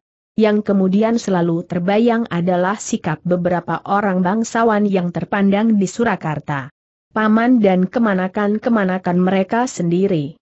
Alangkah jauh bedanya, bagaikan siang dan malam, dan bagaikan langit dan bumi, jika mereka bertemu dengan saudara sepupu mereka yang bernama Raden Maset dan juga Juiring yang sudah beberapa lama berada di Jati Aking, dibandingkan dengan diri mereka sendiri, atau pamanda para bangsawan-bangsawan muda itu yang lain.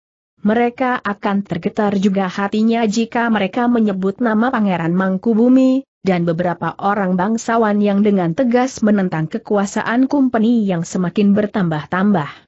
Beberapa di antara mereka menjadi terguncang.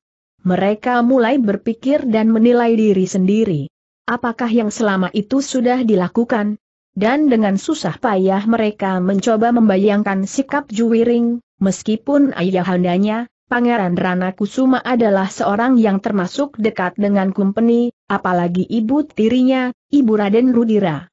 Lebih tajam lagi adalah sikap Raden Mas Set, yang sudah dengan tanpa tedeng aling-aling membuka medan peperangan melawan kumpeni. Dan lebih dari itu semuanya adalah sikap Pangeran Mangkubumi yang bagaikan air bengawan yang sangat dalam, tegas, dan seakan-akan mengandung kekuatan tersembunyi yang sulit dijajaki, meskipun dilambari dengan kebijaksanaan yang matang. Namun justru kekuatan yang matang seperti kematangan sikap dan kebijaksanaannya itulah yang sangat berbahaya bagi kedudukan kumpeni di Surakarta. Bukan saja para bangsawan yang bersikap lemah menghadapi kehadiran orang asing itu karena berbagai macam alasan, mungkin karena harta benda yang melimpah, mungkin karena didorong oleh nafsu berkuasa dan pangkat, mungkin oleh keinginan yang lain lagi yang beribu macam itulah, namun juga Raden Mas Saya kadang-kadang menjadi bingung menghadapi sikap Pangeran Mangkubumi. Kadang-kadang Raden Mas Set yang muda itu tidak telaten menunggu, seakan-akan menunggu turunnya hujan di musim kering. Ketika pada suatu saat, Raden Mas Set tidak dapat menahan hati lagi, maka ia memerlukan dengan diam-diam menghadap Pamanda Pangeran Mangkubumi untuk mendapatkan penjelasan tentang sikapnya yang sulit dimengerti itu. Pamanda, apakah aku masih harus menunggu bertanya Raden Mas Set, selama ini aku mematuhi perintah Pamanda agar untuk sementara aku menyingkir. Tetapi sekarang Pamanda masih belum berbuat apa-apa sehingga kumpeni rasa-rasanya menjadi semakin berpengaruh atas Surakarta. Pangeran Mangkubumi mengangguk-angguk. Katanya, Set, banyak hal yang masih harus dipertimbangkan. Jika aku mengambil sikap yang keras sebelum aku matang berpikir, maka yang terjadi adalah sekedar bentrokan tanpa arah. Kita berdua sudah berhasil menghindarkan diri dari benturan dan adu domba, Meskipun kau harus banyak berkorban karena kau harus menarik diri dari tempat yang sudah berhasil kau duduki. Namun sementara itu, aku mendapat kesempatan untuk menyusun kekuatan. Dan dalam masa yang senggang ini, aku yakin bahwa kau pun mendapat kesempatan serupa. Kau dapat menyegarkan orang-orangmu. Jika perlu pada suatu saat semuanya akan dapat melakukan tugas dengan sebaik-baiknya. Sementara ini kita dapat bersikap seperti keadaan kita selama ini, seolah-olah kita adalah domba aduan yang saling bertengkar. Syukurlah bahwa ada usaha lain yang dapat dilakukan selain kekerasan. Tidak mungkin Pamanda. Tidak akan ada jalan lain. Set, coba renungkan. Mungkin aku dipengaruhi oleh sikap yang cengeng sehingga aku tidak dapat bertindak seperti kau Pangeran Mangku Bumi terdiam sejenak. Kepalanya tiba-tiba menunduk dalam-dalam, dan suaranya menjadi datar, aku menjadi ngeri mendengar ancaman kumpeni dan ancamanmu akhir-akhir ini. Maksud Pamanda? Set.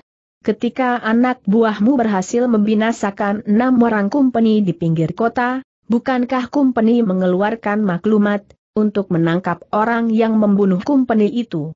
Jika dalam waktu yang ditentukan pembunuh itu tidak tertangkap, maka kumpeni akan mengambil sepuluh nyawa sebagai ganti setiap kumpeni yang terbunuh. Dan sepuluh nyawa itu adalah sepuluh nyawa bangsa kita siapa pun mereka. Bersalah atau tidak bersalah. Oraden Maset menganggukkan kepalanya, aku sudah menjawab Pamanda. Bagaimana jawabmu? Jika kumpeni melaksanakan ancaman itu, maka setiap orang bangsa kita yang terbunuh, aku akan mengambil sepuluh orang sebagai gantinya. Kumpeni. Ya, atau orang yang berpihak kepada mereka dan apalagi yang terbukti membantu mereka. Pangeran Mangkubumi menarik nafas dalam-dalam. Dengan nada yang berat ia berkata, Set, aku mengerti caramu berpikir. Mungkin pada suatu saat, kita tidak dapat menghindarkan diri dari tindakan serupa itu. Tetapi sebelum kita kehilangan sepuluh ganda yang tiada akan henti-hentinya, maka aku akan mencoba menempuh jalan lain. Raden Mas Set mengerutkan keningnya. Lalu di antara kedua bibirnya ia berdesis, maksud Pamanda. Set, baik sepuluh orang untuk menukar jiwa seorang kumpeni, maupun kemudian sepuluh orang dari setiap orang yang terbunuh oleh kumpeni itu, adalah darah daging kita. Mungkin mereka adalah pengkhianat-pengkhianat. Mungkin mereka menodai perjuangan kita untuk menegakkan kebebasan kita. Tetapi bagiku Seth, rasa-rasanya masih terlampau pedih melihat mereka menjadi sasaran kemarahan kita dan juga sasaran kemarahan kumpeni. Jadi maksud Pamanda, agar kita bertindak lebih lunak lagi sehingga semakin banyak orang yang akan berpihak kepada orang asing itu. Tidak Seth. Hanya caranya sajalah yang harus kita pertimbangkan baik-baik. Jika kita dapat memberikan kesadaran kepada rakyat kita tanpa kekerasan, sehingga mereka merasa bertanggung jawab terhadap hari depan kita sendiri, maka kita akan berbesar hati. Pamanda. Setiap cita-cita harus dilambari kesediaan untuk berkorban. Memang mungkin akan ada korban yang jatuh. Jika kita hanya sekedar inginkan cita-cita tanpa berani mengatasi kesulitan, maka tidak ada yang akan dapat kita capai, karena setiap cita-cita tentu akan menelan bebanten. Dalam keadaan yang semakin gawat ini, tentu kita tidak dapat sekedar menunggu. Dan aku minta izin untuk memulai kembali perjuangan yang panjang ini Paman. Set, aku mengerti jiwamu yang muda dan bergolak bagaikan api di kawah gunung Merapi itu merupakan penggerak yang utama bagi kita. Tetapi aku minta waktu sedikit lagi. Mudah-mudahan aku berhasil, atau jika tidak, maka persiapan kita pun akan menjadi semakin matang. Jika kemudian terpaksa harus jatuh korban, apa boleh buat? Raden Mas Set menarik nafas dalam-dalam. Ia sebenarnya tidak sabar lagi menunggu. Tetapi Pangeran Mangkubumi adalah satu-satunya orang yang disegani di Surakarta karena itu, betapa hati menggelegak, namun ia masih tetap menahan diri. Ia masih harus bersembunyi dan menurut nasihat pamannya, agar ia tidak berbuat sesuatu. Setiap kali terngiang di telinganya, set, Jika aku berhasil memadamkan api yang kau nyalakan, maka aku akan mendapat banyak kesempatan mempersiapkan Sukawati. Kecurigaan terhadapku akan berkurang, dan aku dapat menuntut hak resmi atas tanah Sukawati itu. Bukan karena ketamakanku, bahwa aku mengorbankan cita-citamu sekedar untuk mendapat tanah kalenggahan yang luas. Tidak. Tetapi yang penting bahwa aku dan kau akan mendapat kesempatan menempa diri, itulah yang penting.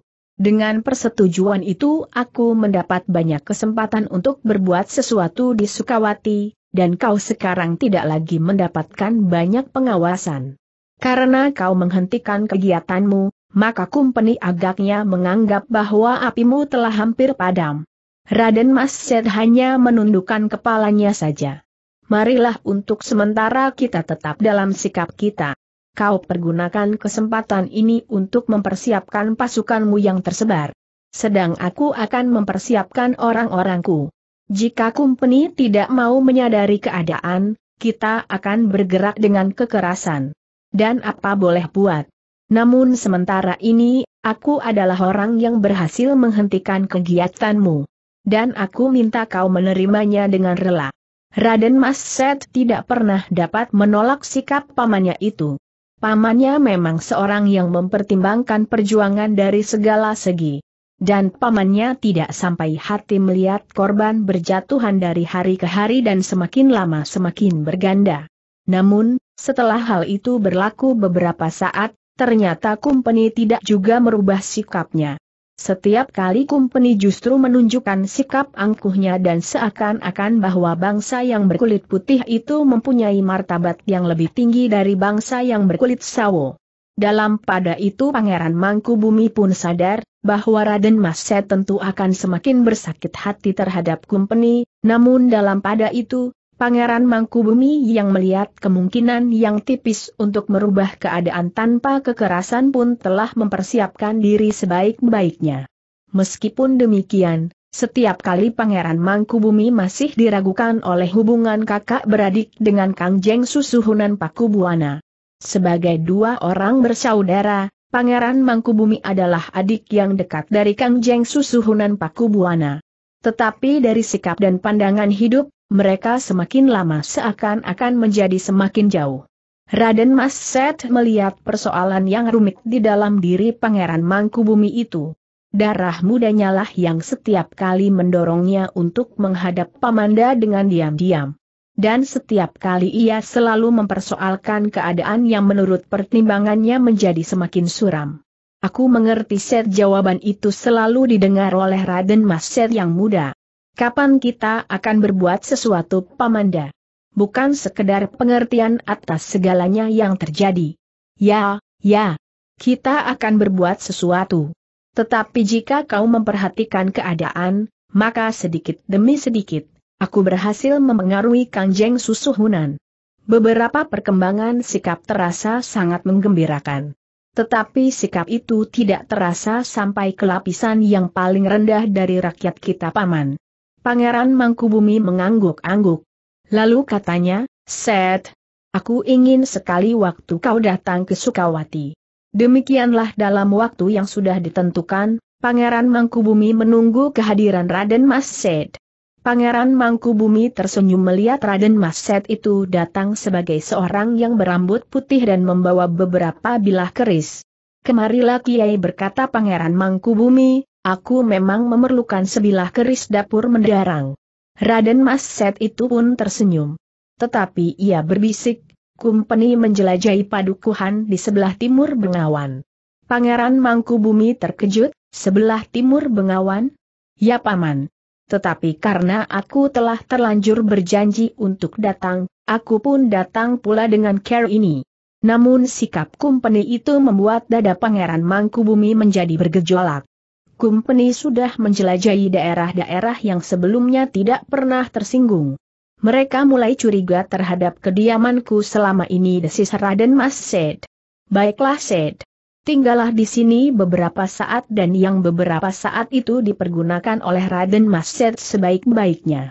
Baru kemudian setelah mengenal serba sedikit atas tanah Sukawati, ia mengangguk-angguk sambil berkata, Agaknya paman memang memiliki perhitungan yang jauh lebih matang. Kini aku tahu, bahwa sebenarnya lah Pamanda tidak sedang tertidur di atas tanah Sukawati. Maaf Pamanda, sebenarnya lah sebelumnya ada dugaanku, bahwa Paman mulai terlena di atas kehijauan sawah Sukawati yang subur ini. Pangeran Mangkubumi tersenyum. Katanya, nah, sejak saat ini, kita memang sudah didesak untuk semakin matang menghadapi keadaan. Jika kita harus mempergunakan kekerasan, kita pun akan mempergunakannya. Namun kita harus menyadari, bahwa kita berbuat sesuatu untuk kemanusiaan dan dilandasi oleh kemanusiaan, sehingga akibat perang yang terlampau ganas dan mengerikan harus kita hindari sejauh-jauh dapat kita lakukan. Raden Mas Set meninggalkan Sukawati dengan hati yang berdebar-debar. Bahkan ia melihat, bukan saja Sukawati yang telah berhasil dibentuk oleh Pangeran Mangkubumi, namun rakyat di sekitarnya pun mulai dijalari oleh sikap yang serupa. Sehingga karena itulah, maka Raden Maset justru menjadi semakin mapan menilai pamandanya, Pangeran Mangkubumi. Dan bahwa sebenarnya lah pamannya telah menyiapkan diri seperti yang dikatakannya. Dengan persiapan yang lebih baik, kita tidak terperosok ke dalam sikap yang bodoh, seperti serangga terbang ke dalam api berkata Raden Maset di dalam hatinya. Demikianlah Surakarta benar-benar bagaikan gunung berapi yang tampaknya tenang dan agung. Tetapi sebenarnya lah di dalamnya bergolak api yang tiada cara panasnya. Dalam pada itu di dalam kemelutnya keadaan, Pangeran Rana Kusuma sebagai seorang senapati yang berpengaruh di Surakarta, mendapat banyak keterangan dan laporan mengenai keadaan yang buram. Namun sebenarnya lah Pangeran Rana Kusuma sedang menghadapi keadaan yang buram di dalam dirinya sendiri, di dalam keluarganya. Ternyata bahwa Rara Warih benar-benar tidak segera dapat dilunakkan hatinya. Bahkan ia sudah mengancam untuk meninggalkan rumah ayahnya dari pergi ke rumah eyangnya, jika Juiring tidak segera pergi meninggalkan rumah itu. Warih berkata ayahandanya, kau tidak boleh berkeras hati seperti itu. Aku akan tinggal bersama Ibunda jawab Warih, barangkali hal itu akan lebih baik bagiku dan tiba-tiba saja ia bertanya, kenapa maka Ibunda tidak segera kembali ke rumah ini ayah? Kamas Rudira sudah dipanggil kembali oleh Tuhan. Dan tentu saja kita tidak akan dapat berbuat apa-apa lagi. Ibunda tentu sudah mulai tenang dan menerima kenyataan ini dengan hati yang lapang. Sudahlah Warih biarlah ibumu berada di rumah eyangmu untuk sementara. Jika ia sudah merasa tidak terganggu lagi ketenangannya, maka ia akan kembali dengan sendirinya. Ah, bukan begitu ayah. Tentu ayah anda yang harus menjemput. Bukan ibunda yang datang dengan sendirinya. Pangeran Rana Kusuma mengerutkan keningnya. Lalu, sudahlah. Sebaiknya kau tidak mengganggu ketenangan ibumu kau harus mencoba bersikap dewasa, Warih. Kau adalah satu-satunya anak gadisku. Karena itu, kau sangat aku perlukan di sini. Tanpa kau, maka rumah ini bagaikan halaman yang tidak memiliki sebatang pohon bunga pun. Gersang. Tetapi ayah harus menyingkirkan anak padasan itu. Ia kakak Muari. Tidak ada bedanya dengan Rudira. Jika kau mendekatkan hatimu, maka kau akan merasakan bahwa ia benar-benar kakakmu. Tidak. Aku tidak dapat menerimanya. Ibunya tidak sederajat dengan ibuku. Pangeran Rana Kusuma menarik nafas dalam-dalam. Ia tidak dapat mengatakan sesuatu yang menggelepar di dalam hatinya, bahwa derajat seseorang tidak menentukan kelurusan hatinya. Bahwa Raden Ayu Galihwarit yang lebih tinggi derajatnya dari Ibu Juiring tidak menjamin bahwa hatinya lebih putih. Apakah anak itu harus mengetahui keadaan ibunya ia bertanya kepada diri sendiri, biarlah ia mengetahui dengan sendiri. Aku tidak sampai hati mengatakannya. Jika ia memaksa untuk pergi ke istana eyangnya, mungkin ada juga baiknya. Ternyata pikiran itu telah mengganggu perasaan Pangeran Rana Kusuma. Bahkan ia telah dicengkam oleh keragu-raguan yang dalam. Bagi Juiring, Sikap adiknya itu selalu menggelitiknya. Justru seakan-akan merupakan tantangan yang harus dijawabnya. Karena itu, Ketika ayahnya sekali lagi bertanya kepadanya, maka Juiring pun menjawab, Ayahanda, aku akan pergi ke Jati Aking bersama kedua saudara angkatku. Aku akan membicarakannya dengan Kiai Danatirta, apakah sebaiknya aku berada di Jati Aking atau di Surakarta. Juiring berkata Pangeran Rana Kusuma, jika tidak ada sebab sebelumnya, jawabmu tidak akan dapat aku terima. Aku adalah ayahmu. Akulah yang menentukan, sehingga kau tidak perlu bertanya dan membicarakan dengan siapa pun juga. Tetapi aku tidak dapat ingkar, bahwa selama ini aku bukannya seorang ayah yang baik bagimu, sehingga aku pun tidak berani melarangmu. Pergilah dan sampaikan salamku kepada Kiai Danatirta. Aku akan minta kau dengan resmi seperti aku pernah menyerahkan kau kepadanya lewat Ki di Panala. Karena itu biarlah Ki di Panala menyertaimu. Demikianlah maka Juiring pun segera mempersiapkan dirinya. Agaknya Buntal dan Arum pun sudah merindukan padepokannya setelah untuk beberapa hari mereka berada di kota. Setelah mereka melihat betapa keruhnya udara di atas kota yang tampaknya semakin gemerlapan itu. Diiringi oleh Ki di Panala mereka pun mohon diri kepada Pangeran Rana Kusuma untuk meninggalkan kota dan kembali ke padepokan mereka yang terasa tenteram dan damai. Sekali-sekali kalian harus datang kemari berkata Pangeran Rana Kusuma. Terima kasih Pangeran jika hamba diizinkan untuk sekali-sekali datang kemari. Agaknya hamba berdua pada suatu saat tentu akan merindukan kota yang ramai ini dengan segala macam isinya. Baiklah. Kalian dapat membawa bekal yang sudah disiapkan oleh Ki di Panala dan sekedar oleh-oleh buat Kiai Danatirta. Aku mengharap dalam waktu yang dekat Ki di Panala kembali dengan membawa Juiring serta, meskipun ia seterusnya akan mondar-mandir antara kota ini dan padepokan Jati Aking seperti yang aku harapkan, kalian pun berbuat demikian pula. Dengan membawa beberapa macam pemberian dari Pangeran Rana Kusuma, maka anak-anak jati aking itu pun segera memacu kudanya, kembali ke padepokan yang rasa-rasanya sudah terlalu lama mereka tinggalkan. Apalagi Arum, yang hampir tidak pernah berpisah dengan ayahnya untuk waktu yang agak panjang, sehingga ketika kudanya sudah berlari di luar regol kota, rasa-rasanya ia segera ingin bertemu dengan ayahnya itu. Selama ini tentu ayah pergi ke sawah seorang diri katanya. Tentu tidak arum. Beberapa orang cantrik dapat membantunya. Mereka kadang-kadang masih belum dapat dipercaya melakukan pekerjaan penting, sehingga tentu ayah sendiri yang melakukannya. Mereka bekerja tanpa berpikir selain mempergunakan tenaganya saja. Buntal mengangguk-angguk. Tetapi ia tidak menyahut lagi. Rasa-rasanya perjalanan kembali ke padepokan jati aking itu terlampau lama lagi arum. Namun kesegaran udara padesan membuatnya segar setelah untuk beberapa lama, rasa-rasanya nafasnya tercekik oleh kehidupan kota. Semula Arum berpendapat, bahwa orang-orang kota, terutama para bangsawan adalah orang-orang yang hidup dengan ikatan-ikatan yang membatasi gerak dan tingkah laku mereka, sehingga mereka adalah orang-orang yang sopan, lembut, dan bahkan hampir tidak berbuat sesuatu jika tidak perlu. Juiring merupakan contoh gambaran tentang para bangsawan. Menurut Arum, Juiring adalah bangsawan yang tersisi dan sudah lama hidup di padesan sehingga bangsawan yang tinggal di kota tentu lebih lembut dan beradab daripadanya. Namun ternyata ia keliru. Kota yang kaya itu adalah kota yang dipenuhi dengan nafas yang kotor dan kasar. Beberapa bangsawan yang dijumpainya di pinggir bengawan ternyata mempunyai sifat dan watak yang jauh lebih kasar dari para petani. Para petani betapapun kasarnya, namun pada umumnya memiliki kejujuran.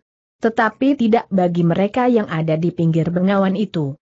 Namun betapapun lambatnya menurut perasaan Arum, kuda-kuda itu pun semakin lama menjadi semakin dekat dengan jati aking.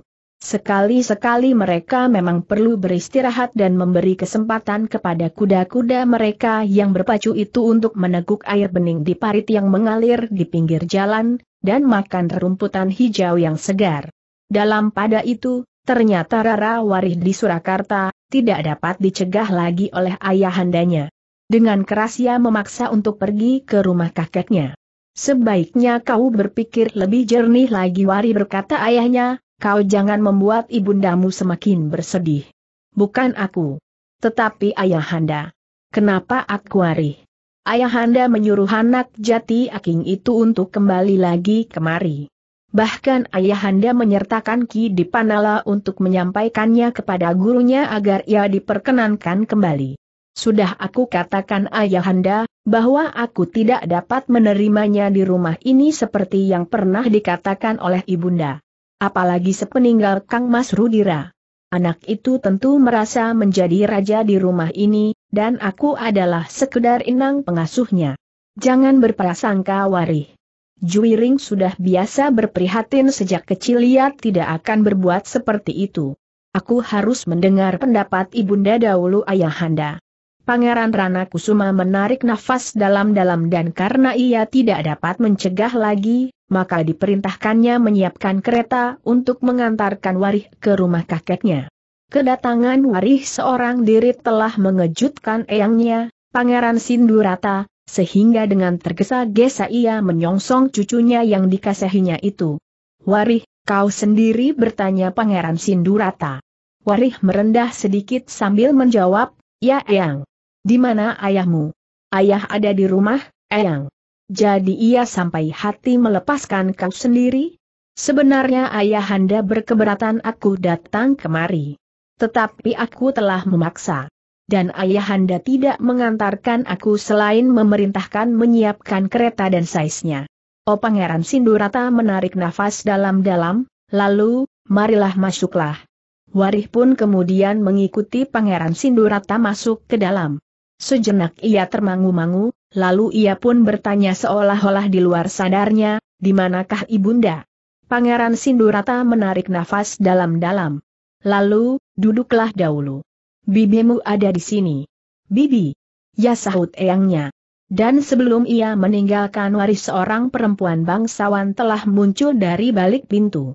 Ia adalah adik kandung Raden Ayu Galihawaret yang mempunyai hubungan gelap dengan Pangeran Rana Kusuma. Kau Warih, sapanya sambil tersenyum. Warih pun tertawa sambil menyahut, ya Bibi. Sudah lama Bibi datang?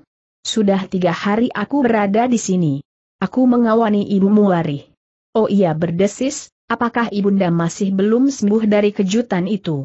Bibinya tidak segera menyaut. Tetapi ia pun kemudian duduk di sisi Waris sambil berkata, duduklah dahulu. Biarlah para pelayan menghidangkan minuman. Kau tentu haus.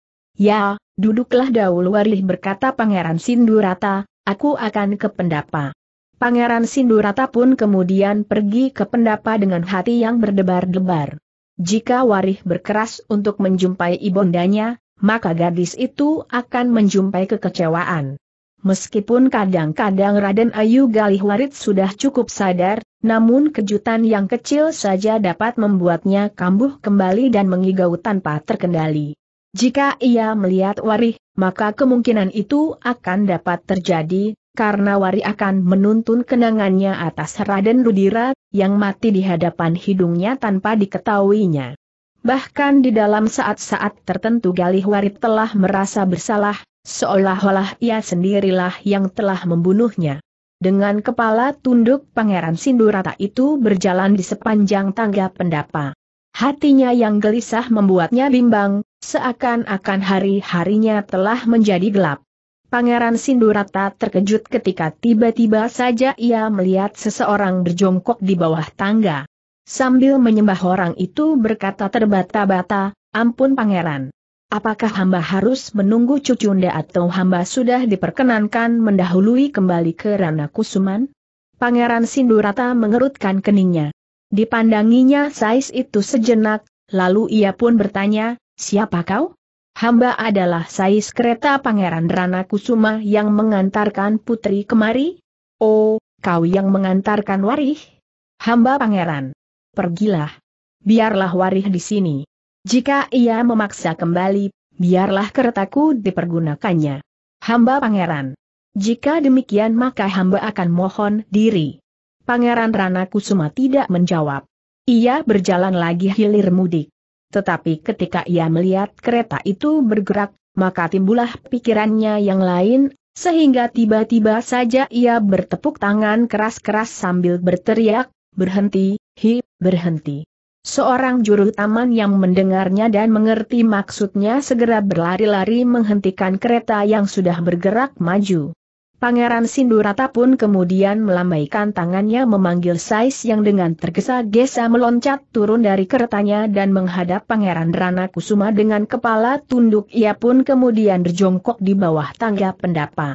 Jangan pergi dahulu. Mungkin Warih tidak akan terlalu lama tinggal di sini. Taruhlah kereta itu di tempat yang terlindung oleh terik matahari, dan barangkali kau dapat memberi minum dan makan kuda-kudamu lebih dahulu. Dan jika kau sendiri haus, pergilah ke belakang. Sais itu termangu-mangu sejenak. Namun katanya kemudian, hamba pangeran. Pangeran Sindurata tidak menghiraukannya lagi. Ia pun berjalan pula hilir mudik di tangga pendapa. Mudah-mudahan Warih dapat dibujuk oleh bibinya berkata Pangeran Sindurata itu di dalam hatinya.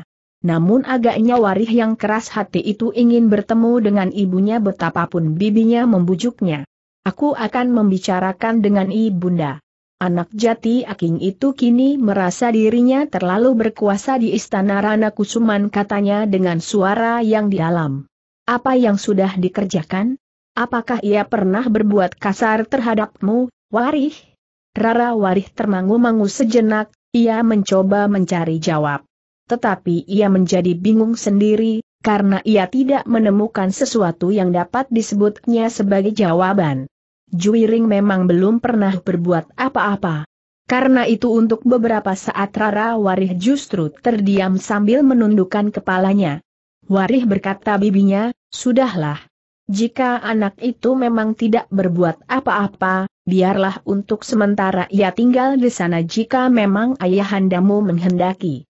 Tetapi jika ibundamu sudah baik sama sekali, biarlah ia berusaha mengusirnya seperti yang pernah dilakukannya. Tidak Bibi. Orang itu harus segera pergi. Bibinya menarik nafas dalam-dalam. Lalu katanya, sudahlah, tenanglah. Segala sesuatunya akan dapat diselesaikan dengan sebaik-baiknya. Percayalah. Warih menjadi gelisah. Ia tahu bahwa Juiring akan minta diri kepada gurunya di Jati Aking dan kemudian akan tinggal di Istana Rana Kusuman. Dan itulah yang membuatnya terlampau gelisah. Jika ibunya dapat diajaknya berbicara, maka ibunya tentu akan menentangnya. Biasanya ayahandanya tidak pernah menentang jika ibundanya sudah bersikap agak keras. Tetapi ibunya kini sedang dalam keadaan yang lain. Sejenak Rara Warih duduk bersama bibinya. Seorang pelayan menghidangkan semangkuk minuman panas dan beberapa potong makanan. Rara Warih sudah terbiasa makan jenis makanan yang lain dari makanan yang dijumpainya di Surakarta. Makanan yang dihidangkan itu pun sejenis makanan yang datang oleh pengaruh kumpeni. Tetapi ketika Rara Warih sudah minum seteguk dan makan sepotong makanan, ia pun mendesak lagi kepada bibinya untuk bertemu dengan ibunya. Warih cobalah mengerti. Apakah kau tidak kasihan kepada ibumu? Pertanyaanmu dapat menimbulkan persoalan baru di dalam dirinya. Jika kau memang tidak mau tinggal bersama anak yang kau sebut berasal dari jati aking itu, tinggallah untuk beberapa saat di rumahku. Rara Warih mengerutkan keningnya. Ia merasa aneh atas tawaran itu. Biasanya ia berada di rumah eyangnya, dan bahkan beberapa orang sepupunya pun berada di rumah ini. Tetapi kini bibinya menawarkan agar ia tinggal di minatinya. Pikirkan baik-baik Wari berkata bibinya. Bibi bertanya Wari kemudian, jika aku tidak ingin tinggal di rumahku sendiri, kenapa aku tidak tinggal pada eyang di sini? Bibinya tersenyum. Katanya, ibumu memerlukan ketenangan Wari. Rara Warih menarik nafas dalam-dalam. Namun keinginannya untuk bertemu dengan ibunya justru menjadi semakin mendesak. Meskipun demikian, ia mencoba menahan diri. Namun demikian di luar sadarnya ia berkata, pintu bilik ibunda bibi. Apakah ibunda tidak terganggu oleh angin? Apakah tidak sebaiknya pintu itu ditutup? Bibinya menjadi termangu-mangu. ia mendapat kesulitan untuk menjawab, karena sebenarnya Raden Ayu Galihwari tidak berada di dalam bilik yang terbuka itu. Meskipun demikian, bibinya itu pun berdiri dan melangkah menutup daun pintu yang terbuka itu. Ibundamu sedang tidur nyenyak berkata bibinya. Apakah aku dapat menengoknya? Bukankah selagi tidur ibunda tidak melihat aku? Duduklah bibinya mencegah, lalu, Warih apakah kau pernah menjumpai makanan jenis ini? Kami mendapatkan dari seorang perwira kumpeni. Makanan ini disimpan dalam tempat tertutup yang rapat. Tetapi Warih mengangguk. Katanya, ayahanda mempunyai banyak jenis makanan semacam ini. Oh bibinya mengangguk-angguk. Namun ia menjadi gelisah karena nampaknya Warih pun menjadi gelisah. Dalam pada itu, maka Pangeran Sindurata pun kemudian ikut duduk bersama dengan mereka. Dicobanya untuk membicarakan berbagai masalah yang tidak menyangkut Raden Ayu Galihwarit. Namun setiap kali Rara Warihlah yang selalu menyebut-nyebut nama ibundanya. Dengan demikian, maka baik Pangeran Sindurata maupun Bibi Warih itu menjadi cemas. Apakah jika Rara Warih berada di istana itu sehari penuh, mereka akan tetap dapat memaksanya untuk duduk di tempatnya tanpa mendapatkan ibundanya sama sekali? Dalam pada itu ketika Rara Waris sedang pergi ke Pakiwan, bibinya pun berkata, Ayahanda, sebenarnya Warih pun sudah dewasa. Ayahnya, Pangeran Sindurata tidak segera menjawab. Direnunginya wajah anak perempuannya itu. Namun ia tidak tahu pasti, apakah yang sebenarnya bergolak di dalam hati anaknya itu. Sebenarnya lah, bahwa di dalam hati perempuan bangsawan itu justru dijalari oleh pikiran yang aneh. Sejak Raden Ayu Galihawaret tidak lagi mungkin diterima di istana Rana Kusuman sebelum ia sembuh benar-benar, ia merasa seakan-akan mendapat kebebasan yang lebih luas untuk berhubungan dengan Pangeran Rana Kusuma. Karena itu, kadang-kadang dia harus berjuang untuk menindas godaan itu. Meskipun demikian, seperti kabut yang kelam telah meliputi hatinya. Apakah salahnya jika Warih mengetahui keadaan ibunya dan kemudian karena itu ia menjadi sakit hati dan kehilangan segala gairah hidupnya? Bukankah dengan demikian berarti bahwa Pangeran Rana Kusuma menjadi semakin bebas untuk berbuat apa saja? Sedangkan anak laki-lakinya yang pernah berada di jati aking itu tentu tidak akan banyak mencampuri persoalan ayahandanya, karena bahwa ia diizinkan kembali ke istana itu pun agaknya telah membuatnya berterima kasih sampai ke ujung ubun-ubun. Tetapi bagaimana jika Warih justru menggantungkan dirinya sepenuhnya kepada ayahandanya setelah ia dikecewakan oleh ibunya pertanyaan itu timbul juga di dalam hati bibi Warih itu. Tetapi lalu dijawabnya, Pangeran Rana Kusuma adalah seorang senapati, ia tentu terlampau sering meninggalkan rumahnya dan anak-anaknya dengan alasan apa pun. Dan Warih tidak akan dapat mencegahnya meskipun di saat-saat Pangeran Rana Kusuma ada di rumahnya, gadis itu menjadi sangat manja. Karena itu, maka selagi Pangeran Sindurata masih termenung, ia pun berkata selanjutnya, Ayahanda, lambat atau cepat, akhirnya Warih pun akan mengetahuinya pula. Pangeran Sindurata mengangguk-angguk. Tetapi ia kemudian berkata, tetapi tidak sekarang. Hatinya masih terlalu getas. Justru karena Juwiring ada di istananya pula, biarlah aku menyuruhnya kembali saja. Aku telah menahan keretanya agar menunggu. Tetapi alasan apakah yang harus kita katakan kepadanya ayahanda? Katakan, bahwa ibundanya masih belum dapat menemui siapa pun. Aku sudah terlanjur mengatakan bahwa ibunya sedang tidur nyenyak. Dan sudah barang tentu ia menunggu sampai ibunya terbangun.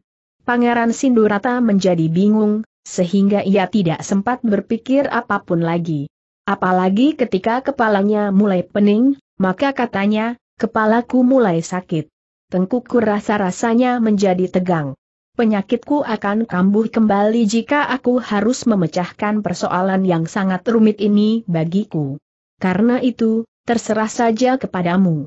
Tetapi kau harus sadar, bahwa jika Warih mengetahui keadaan ibunya, ia akan mengalami kejutan yang tidak kalah dahsyatnya seperti saat Rudira meninggal. Dan kau harus bersiap menghadapi persoalan itu. Jika terjadi apa-apa dengan Warih di sini, maka persoalan kita dengan Pangeran Rana Kusuma akan menjadi semakin bertambah-tambah. Kebenciannya kepadaku akan menjadi berganda.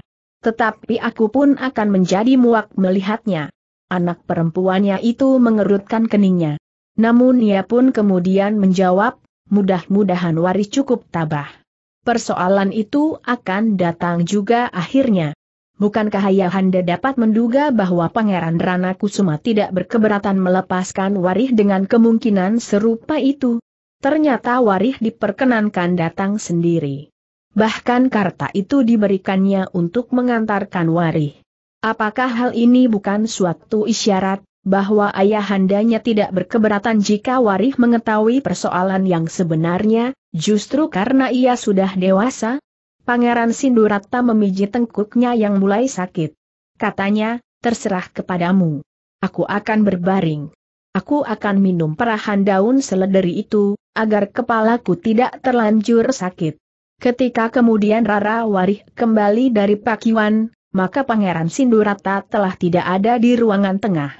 Pangeran tua itu telah berada di dalam biliknya dan berbaring sambil memejamkan matanya. Sejenak Rara Warih termangu-mangu. Tetapi ia tidak bertanya tentang eyangnya yang tidak tampak duduk di antara mereka. Warih berkata bibinya kemudian, sebenarnya sangat berat bagiku dan eyangmu, untuk mempertemukan kau dengan ibundamu. Karena agaknya kejutan itu masih mempengaruhinya selama ini.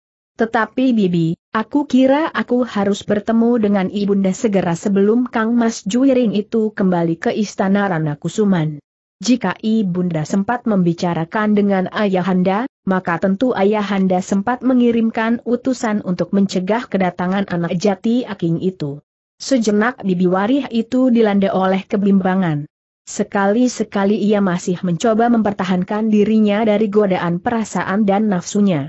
Namun ternyata bahwa ia tidak dapat melawannya lagi sehingga akhirnya ia berkata, terserahlah kepada Muarih tetapi aku dan eyangmu telah mencoba mencegahmu. Jika terjadi sesuatu dengan ibumu, itu adalah kesalahanmu. Ah dasar Rara Warih, kenapa Bibi berkata demikian? Aku tahu bahwa ibundamu belum sembuh sama sekali. Rara Warih termangu-mangu sejenak. Namun kemudian ia berkata, aku akan berhati-hati. Aku hanya ingin memohon agar Ibunda Sudi mengurungkan niat Ayahanda memanggil Kang Mas Juiring. Jika ibunda masih akan beristirahat di sini, aku hanya ingin ibunda menulis surat kepada ayahanda, bahwa ibunda tidak sependapat jika anak jati aking itu kembali lagi ke istana. Jika ayahanda masih memikirkan kesehatan ibunda untuk seterusnya, maka tentu ayahanda akan mengabulkannya. Sebab jika tidak maka ibunda tidak akan segera mendapatkan ketenangannya kembali. Bibinya menarik nafas dalam-dalam. Lalu, terserah kepada Warih. Jika kau ingin bertemu, marilah. Rara Warih menjadi berdebar-debar. Tetapi ia pun kemudian berdiri ketika bibinya pun berdiri pula. Ibundamu ada di bilik belakang Warih. Orara Warih terkejut, apakah ibunda tidak ada di dalam bilik itu? Di sini agaknya terlalu ribut bagi ibundamu yang memerlukan ketenangan. Rara Warih tidak menyahut lagi. Ia mencoba mengerti keterangan bibinya itu. Dan ia pun kemudian melangkah mengikuti bibinya ke bilik belakang, meskipun masih ada di dalam lingkungan istana dalam. Sejenak Warih berpaling memandangi pintu yang tertutup. Ia mengira bahwa ibunya ada di dalam ketika pintu itu terbuka. Ternyata ibundanya tidak ada di dalam bilik itu. Dengan langkah yang bimbang Rara Warih mengikuti bibinya di depan pintu bilik yang tertutup mereka berhenti sejenak. Bibinya masih sempat berkata, jangan membuatnya terkejut dan bersedih Warih. Warih mengangguk, ya bibi. Perlahan-lahan bibinya membukakan pintu bilik itu. Sejenak ia berdiri termangu-mangu. Namun sejenak kemudian ia pun tersenyum sambil berkata, apakah kau menjadi semakin baik? Terdengar sebuah tarikan nafas yang dalam. Masuklah. Aku datang mengantarkan Warih. Warih. Warih ada di sini bertanya Raden Ayu Galih Warit yang berbaring di pembaringannya. Warih yang menahan kerinduannya tidak dapat bersabar lagi. Tiba-tiba saja ia berlari dan memeluk ibunya yang masih tetap berbaring. Ibunda desisnya, ibunda sudah sembuh sama sekali? Sambil membelai rambut anaknya Raden Ayu Galihwarit berkata, aku sudah menjadi semakin baik Warih.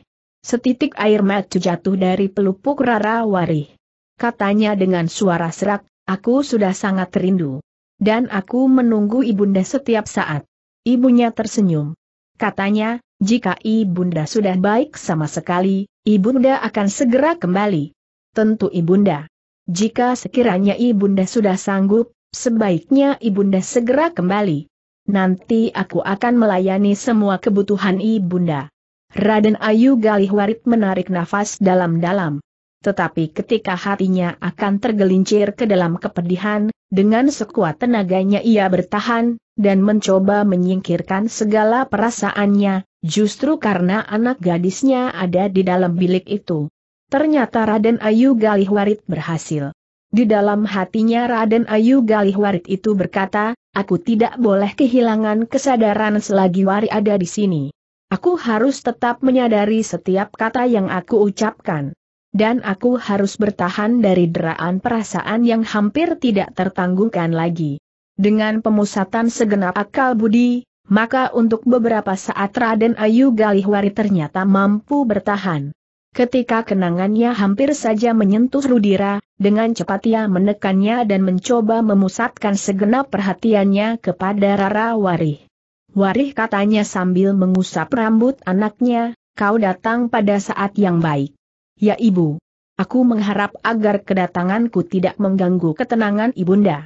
Tidak Warih. Kau justru membuat aku menjadi gembira. Warih menekankan kepalanya ke dada ibunya. Rasa-rasanya seperti kehangatan di masa kanak-kanaknya tidur bersama ibunya di malam yang sepi. Bibinya yang masih berdiri di muka pintu menjadi tertegun melihatnya. Agaknya kehadiran Warih membuat hati ibunya semakin cerah.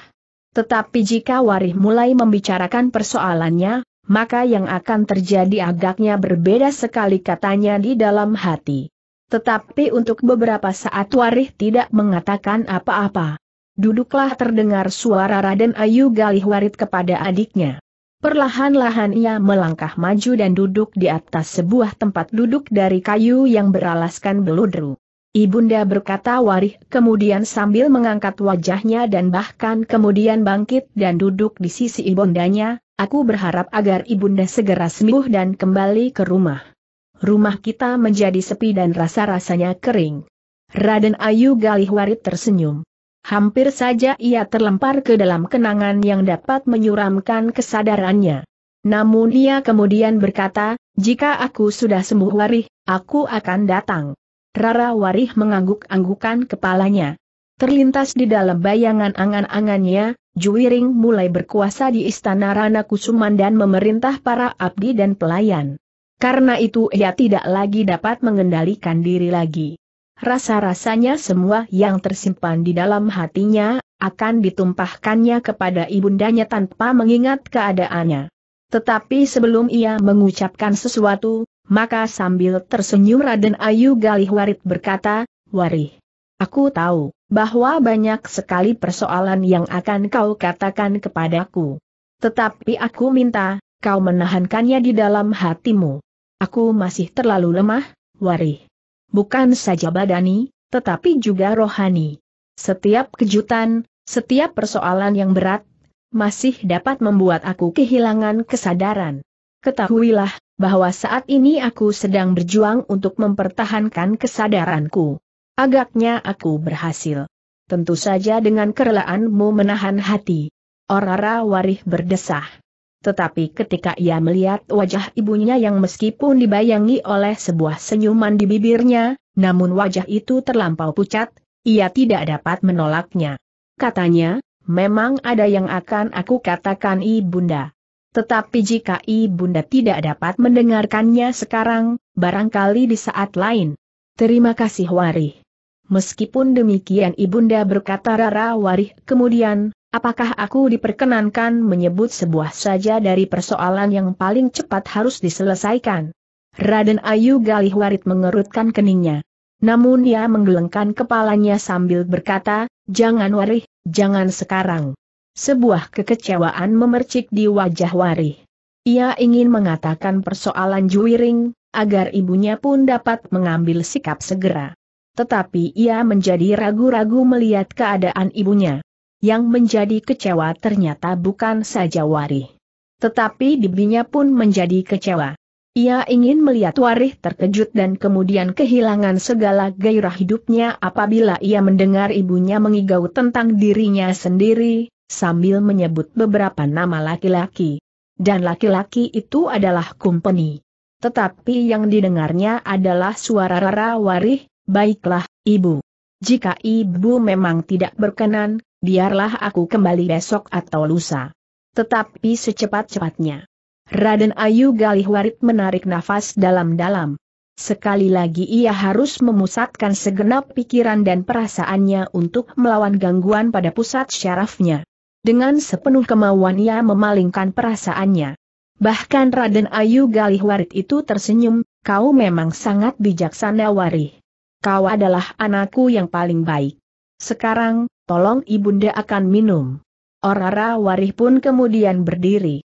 Sejenak ia memandang bibinya, seakan-akan ia ingin bertanya di manakah letak mangkuk minuman ibundanya. Tetapi sebelum ia mengatakan sesuatu, ia mengatakan sesuatu, ia sudah melihat sebuah mangkuk di atas nampan. Beberapa macam buah-buahan dan makanan. Dengan cekatan Rara Warih mengambil mangkuk itu dan menyerahkannya kepada ibunya. Setelah minum seteguk, maka Raden Ayu Galih Warit tersenyum pula sambil berkata, Terima kasih Warih. Aku merasa segar hari ini. Aku akan mencoba untuk tidur sejenak. Apakah kau akan bermalam di sini? Rara Warih ragu-ragu. Tetapi ibunya meneruskan, kembali sajalah ke ayahmu. Ayahmu sendiri. Barangkali kau diperlukannya. Akulah yang selalu sendiri ibunda. Ayah terlampau sering menghadap ke istana. Ibunya mengerutkan keningnya. Namun katanya, baiklah. Tetapi lebih baik bagimu ada di rumah. Supaya ada yang disegani oleh para abdi dan pelayan. Rara Warih mengangguk-anggukan kepalanya. Aku membawa kereta ayahanda berkata Rara Warih, dan kereta itu memang masih menunggu di halaman. Ibunya tertawa, baiklah. Agaknya kau memang akan segera kembali. Rara Warih pun kemudian minta diri. Betapapun ia merasa kecewa, tetapi ia harus menahan diri agar ibundanya tidak mendapat kejutan lagi. Rara Warih pun kemudian meninggalkan bilik itu betapapun ia merasa kecewa, seperti juga bibinya yang kecewa meskipun alasannya berlainan.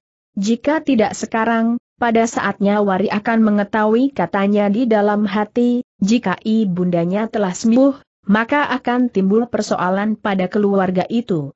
Apakah Kang Mas Rana Kusuma dapat menerimanya kembali? Namun belum lagi mereka meninggalkan pintu bilik itu terlalu jauh, langkah mereka tiba-tiba tertegun. Mereka mendengar suara isak di dalam bilik itu. Sepeninggal Rara Wari agaknya ibundanya tidak dapat bertahan lebih lama lagi. Tiba saja tangisnya meledak. Seperti biasanya ia mulai dilanda oleh penyesalan yang tiada taranya. Sejenak Rara Warih dan bibinya tertegun. Namun ketika Rara Wari akan berlari mendapatkan ibunya yang sedang menangis maka lengannya ditarik oleh bibinya dengan gerak naluriah sambil berkata, jangan Wari. Tetapi ibunda menangis. Jangan. Rara Warih mengibaskan tangan bibinya. Kemudian ia pun berlari masuk ke dalam bilik itu. Ketika pintu bergetar, maka tiba-tiba saja tangis Raden Ayu Galihwari terputus. Ditatapnya anak gadisnya yang berlari memasuki ruangan itu. Namun ternyata syarafnya sudah mulai terganggu. Ketika ia melihat Rara Warih mendekatinya, tiba-tiba saja ia justru tertawa sambil berkata, Hi, kenapa kau datang berlari-lari? Aku tidak akan pergi sebelum kau memberikan senjata itu. Rara Warih terkejut bukan buatan. Wajah ibunya sudah berubah sama sekali, sehingga Rara Warih justru melangkah surut. Suara tertawa ibunya menjadi semakin keras. Namun tiba-tiba suara tertawa itu terputus. Sejenak ia memandang Rara Warih. Namun kemudian ia pun menelungkup sambil menyembunyikan wajahnya di bawah kedua telapak tangannya. Bukan aku yang membunuh. Bukan. Bukan. Bibi Warih pun menjadi gemetar. Dan tiba-tiba saja ia berlari memeluk bibinya. Tenanglah Warih. Bibi. Apakah yang telah terjadi dengan ibunda tidak apa-apa Warih? Tetapi itu adalah sisa-sisa dari kejutan yang tidak terhindarkan lagi. Tetapi, tetapi ibunda menangis. Bibinya tidak menyaut. Dan tanpa dapat dikekang lagi, maka mulailah Raden Ayu Galih Warit mengigau sepatah-sepatah. Warih berkata bibinya, biarlah aku memanggil lemban yang sudah biasa melayani ibundamu. Aku takut bibi. Aku takut. Bibinya termenung sejenak, lalu, marilah. Ikutlah Rara Warih pun kemudian mengikuti bibinya memanggil lemban yang sudah biasa melayani Raden Ayu Galih Warit jika gangguan syarafnya kambuh kembali. Namun dalam pada itu, meskipun hanya sekilas, Warih pun sempat mendengar igauan ibunya. Sepatah-patah yang didengarnya membuat hatinya berdebar-debar. Seakan-akan ia mendengar suara baru yang mengemandang dari dunia yang asing baginya. Mula-mula Warih tidak tahu arti dari igawan yang sepotong-sepotong itu. Namun sebagai seorang gadis yang meningkat dewasa, terasa sentuhan-sentuhan pada dinding hatinya. Semakin lama terasa semakin dalam dan pedih, bibi wajah Rara Warih menjadi pucat. Melihat wajah yang seputih kapas itu, bibinya pun terkejut pula. Keringat dingin yang membasahi wajah itu, seolah-olah Wari baru saja selesai mandi. Seperti kekecewaan meloncat di hati bibinya. Tetapi semuanya sudah terjadi. Dan Wari sudah mendengar sebagian besar dari rahasia ibunya yang selama ini tersembunyi baginya. Warih yang sama sekali tidak siap mengalami kejutan semacam itu, bahkan bermimpi pun ia tidak berani membayangkannya, Tiba-tiba ia telah terbentur pada kenyataan itu. Karena itu, maka nadinya bagaikan tidak berdaya lagi. Sesaat ia mencoba bertahan. Namun kemudian matanya menjadi gelap dan gadis itu pun menjadi pingsan. Ketika Waris sadar, ia sudah berbaring di dalam bilik depan. Dilihatnya bibinya duduk di sebelahnya sambil mengusap air mata. Ia benar-benar menyesal melihat akibat yang terkesan di hati gadis itu. Di sebelah pembaringan itu, Pangeran Sindurata duduk dengan tegangnya. Kepalanya dibalut dengan ikat kepalanya untuk menahan pening yang bagaikan menyengat tengkuk. Eyang Warih mulai menangis, apakah yang sebenarnya sudah terjadi atas ibunda? Sudahlah Warih berkata Pangeran Sindurata, jangan hiraukan. Tetapi aku mendengar ibunda mengigau suaranya terputus. Dan tangisnya pun meledak. Beberapa saat lamanya Rara Warih tenggelam di dalam isak tangisnya. Tetapi perlahan-lahan tangis itu pun meredap pula. Warih berkata bibinya yang pelupuknya masih basah, kau sudah cukup dewasa. Kau wajib menghadapi kenyataan ini dengan hati yang tabah.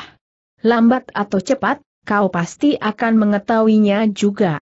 Karena itu, agar kau tidak selalu dicengkam oleh rahasia yang menyelubungi ibundamu, maka sebaiknya kau segera mengetahuinya. Tetapi kenyataan itu terlampau kejam bagiku bibi. Tetapi apakah aku benar-benar mendengar igawan ibunda? Kau harus tabah. Kematian Kang Mas Murudira itulah yang benar-benar telah mengguncangkan hati ibundamu, sehingga penyesalan yang tiada taranya telah membuatnya kehilangan kesadarannya. Tetapi apakah benar seperti apa yang dikatakan ibunda di dalam ketidaksadarannya tentang ibunda itu sendiri bibi? Kita semuanya tidak mengetahuinya warih. Selama ini aku menganggap bahwa tidak ada noda sehitam itu di dalam keluarga kami suara warih terputus oleh isaknya yang kembali mulai menyesak. Bibinya menundukkan kepalanya. Tiba-tiba ia pun dihadapkan pada suatu pengakuan. Bagaimana jika pada saatnya Warih mengetahui keadaan ayahnya? Warih menganggap ayahnya kini sebagai satu-satunya tempat bergantung. Meskipun mula-mula Warih kecewa, bahwa ayahnya mempunyai istri lebih dari seorang, namun apabila gadis itu mengetahui bahwa di samping istri-istrinya itu masih ada perempuan lain, dan perempuan lain itu adalah bibinya sendiri, maka hatinya tentu akan menjadi semakin parah berkata bibinya itu di dalam hatinya. Sejalan dengan penyesalan yang mulai mencengkam dadanya. Bukan saja karena ia telah seakan-akan dengan sengaja melemparkan Rara Warih ke dalam keadaan yang pahit, namun juga karena hubungannya dengan Pangeran Rana Kusuma. Apalagi kedua-duanya adalah orang yang telah berumah tangga. Karena itulah maka bukan saja Rara Warih, tetapi di pelupuk mata bibinya itu pun, titik-titik air rasa-rasanya menjadi semakin banyak mengambang. Pangeran Sindurata yang tua, yang kepalanya sering diganggu oleh perasaan sakit dan pening itu pun menjadi semakin pening. Tetapi ia sempat juga mencoba melunakkan hati Rara Warih, sehingga akhirnya ia berkata, Sudahlah Warih. Sekarang kau tahu, kenapa aku dan bibimu berusaha untuk mencegahmu menemui ibundamu. Tetapi agaknya semuanya telah terjadi. Kau harus bersikap dewasa. Dan agar hatimu tidak menjadi semakin pedih, sebaiknya kau kembali kepada ayahmu. Kau dapat berbicara dengan ayahmu dengan care orang dewasa. Kau bukan anak-anak lagi. Terlebih-lebih lagi karena keadaan ibundamu itu. Sekarang kau harus percaya kepada dirimu sendiri, bahwa kau mampu mengatasi setiap keadaan yang bertentangan dengan keinginan dan bayangan di dalam angan-anganmu kau harus berani menghadapi kenyataan betapapun pahitnya. Rara Warih mencoba menganggukkan kepalanya. Tetapi ia sendiri tidak yakin bahwa ia akan dapat melakukannya namun demikian, ia berkata, baiklah Eyang. Sebaiknya aku kembali pula. Aku akan mengatakannya kepada Ayahanda, apa yang aku jumpai di sini. Agaknya Ayahanda pun memang membiarkan aku mendengar sendiri apa yang telah terjadi. Ternyata ayah telah membiarkan aku mempergunakan kereta itu. Pangeran Sindurata mengangguk-angguk. Perlahan-lahan ia berdesis, agaknya kami dan juga ayahandamu menganggap bahwa kau benar-benar telah dewasa. Rara Warih yang masih menitikan air mata mengangguk lemah. Rasa-rasanya hatinya bagaikan mengambang di awang-awang tanpa alas. Namun ia berusaha untuk mendengarkan setiap nasihat dari kakek dan bibinya. Demikianlah, sejenak kemudian tanpa menengok ibundanya lagi, karena Warih tidak sampai hati, ia pun kembali ke rumahnya. Di sepanjang jalan tangannya sibuk mengusap matanya yang basah. Di belakang keretanya berderap seekor kuda yang membawa seorang pengawal yang mendapat perintah dari Pangeran Sindurata untuk mengantarkan Waris sampai ke Istana Rana Kusuman. Ketika ia naik ke pendapa rumahnya, terasa rumah itu terlampau sepi sepi sekali. Meskipun di Regol ada juga para pengawal dan para abdi yang sibuk di kebun dan halaman, tetapi rasa-rasanya rumah itu adalah rumah yang tidak berpenghuni. Perlahan-lahan Rara Warih melintasi pendapa. Ia tertegun sejenak ketika ia melihat pintu bergerak. Dan hatinya tiba-tiba terguncang ketika ia melihat ayahnya berdiri di depan pintu. Rara Warih sesaat bagaikan mematung. Namun kemudian ia pun berlari memeluk ayahnya sambil berdesah memelas, Ayah! Ayah! Aku tidak beribu lagi. Pangeran Rana Kusuma adalah seorang panglima yang pilih tanding di peperangan. Tetapi menghadapi pengakuan anaknya itu rasa-rasanya matanya menjadi panas dan lehernya bagaikan tersumbat. Ayahanda desis Rara Warih di sela-sela tangisnya, kenapa ayahanda tidak mengatakan kepadaku sebelumnya? Pangeran Rana Kusuma membelai rambut anak gadisnya. Setelah ia berhasil mengatur perasaannya, maka katanya, masuklah Warih. Rara Warih mencoba menahan isaknya. Perlahan-lahan, dibimbing oleh ayahandanya ia masuk ke ruang dalam. Namun tiba-tiba saja gadis itu berlari masuk ke dalam biliknya dan menangis terseduh-seduh sambil menelungkup. Pangeran Rana Kusuma berdiri sejenak di pintu yang terbuka. Dibiarkannya saja anaknya memeras air matanya. Dengan demikian, maka beban di hatinya akan menjadi bertambah ringan, seolah-olah sebagian telah ditumpahkan bersama air matanya. Pangeran Rana Kusuma kemudian meninggalkan bilik itu dan duduk di hadapan pintu yang masih terbuka. Rasa-rasanya ia tidak sampai hati meninggalkan anak gadisnya, yang oleh kelelahan hati dan tubuhnya, telah tertidur sambil menelungkup. Seperti perasaan Warih, sebenarnya lah Pangeran Rana Kusuma merasa betapa sepi istananya itu. Sekilas ia terkenang kepada istrinya yang telah diserahkannya kembali kepada orang tuanya juga kepada istrinya yang sudah meninggal dan meninggalkan seorang anak laki-laki bernama Juiring, bahkan sekilas terbayang wajah adik kandung Raden Ayu Galihwarit. Namun bayangan-bayangan itu ditekankannya dalami di dalam dadanya. Sebagai seorang senapati perang, maka ia harus dapat mempergunakan akalnya sebaik-baiknya untuk memecahkan setiap persoalan. Bukan sekedar perasaan. Dan persoalan pribadinya itu pun dicobanya direnunginya dengan pertimbangan nalar. Kedua anak-anak itu harus menemukan suatu care untuk dapat berkumpul di dalam rumah ini sebagai anak-anakku katanya di dalam hati. Ketika kemudian Rara Warih terbangun, maka agaknya ia sudah menjadi agak tenang.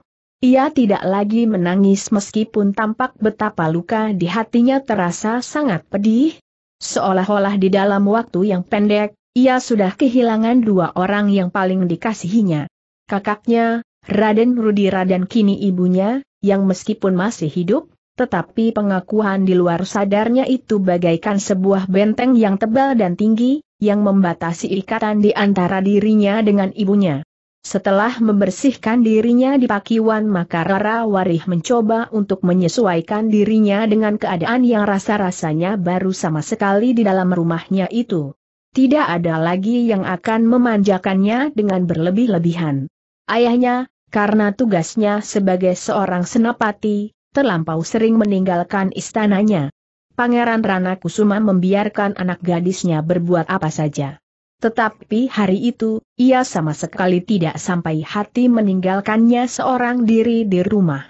Sementara itu, Ki Dipanala yang menyertai Juiring dan kedua adik seperguruannya, telah menghadapi Kiai Danatirta di Jati Aking. Banyak persoalan yang dikatakannya. Namun akhirnya sampai juga ia kepada persoalan pokok dari kehadirannya, menyampaikan pesan Pangeran Rana Kusuma untuk minta agar Kiai Danatirta mengizinkan Juiring kembali ke Istana Rana Kusuman, meskipun itu bukan berarti bahwa ia harus meninggalkan Jati Aking. Jarak antara Surakarta dan Jati Aking tidak terlampau jauh berkata Ki Dipanala kemudian. Lalu, Kakang, jika aku diperbolehkan memberikan pertimbangan, aku tidak berkeberatan jika Raden Juiring ada di Istana Rana Kusuman. Dalam saat ini, Pangeran Rana Kusuma seolah-olah sedang terlempar ke dalam dunia yang kosong. Jika Raden Juiring berhasil menembus dinding hatinya yang kosong itu, tentu ia akan mendapat tempat. Bukan untuk kepentingan pribadi seperti Raden Rudira, tetapi untuk kepentingan yang jauh lebih luas dari kepentingan pribadi itu. Kiai Danatirta segera mengerti maksud Ki Dipanala.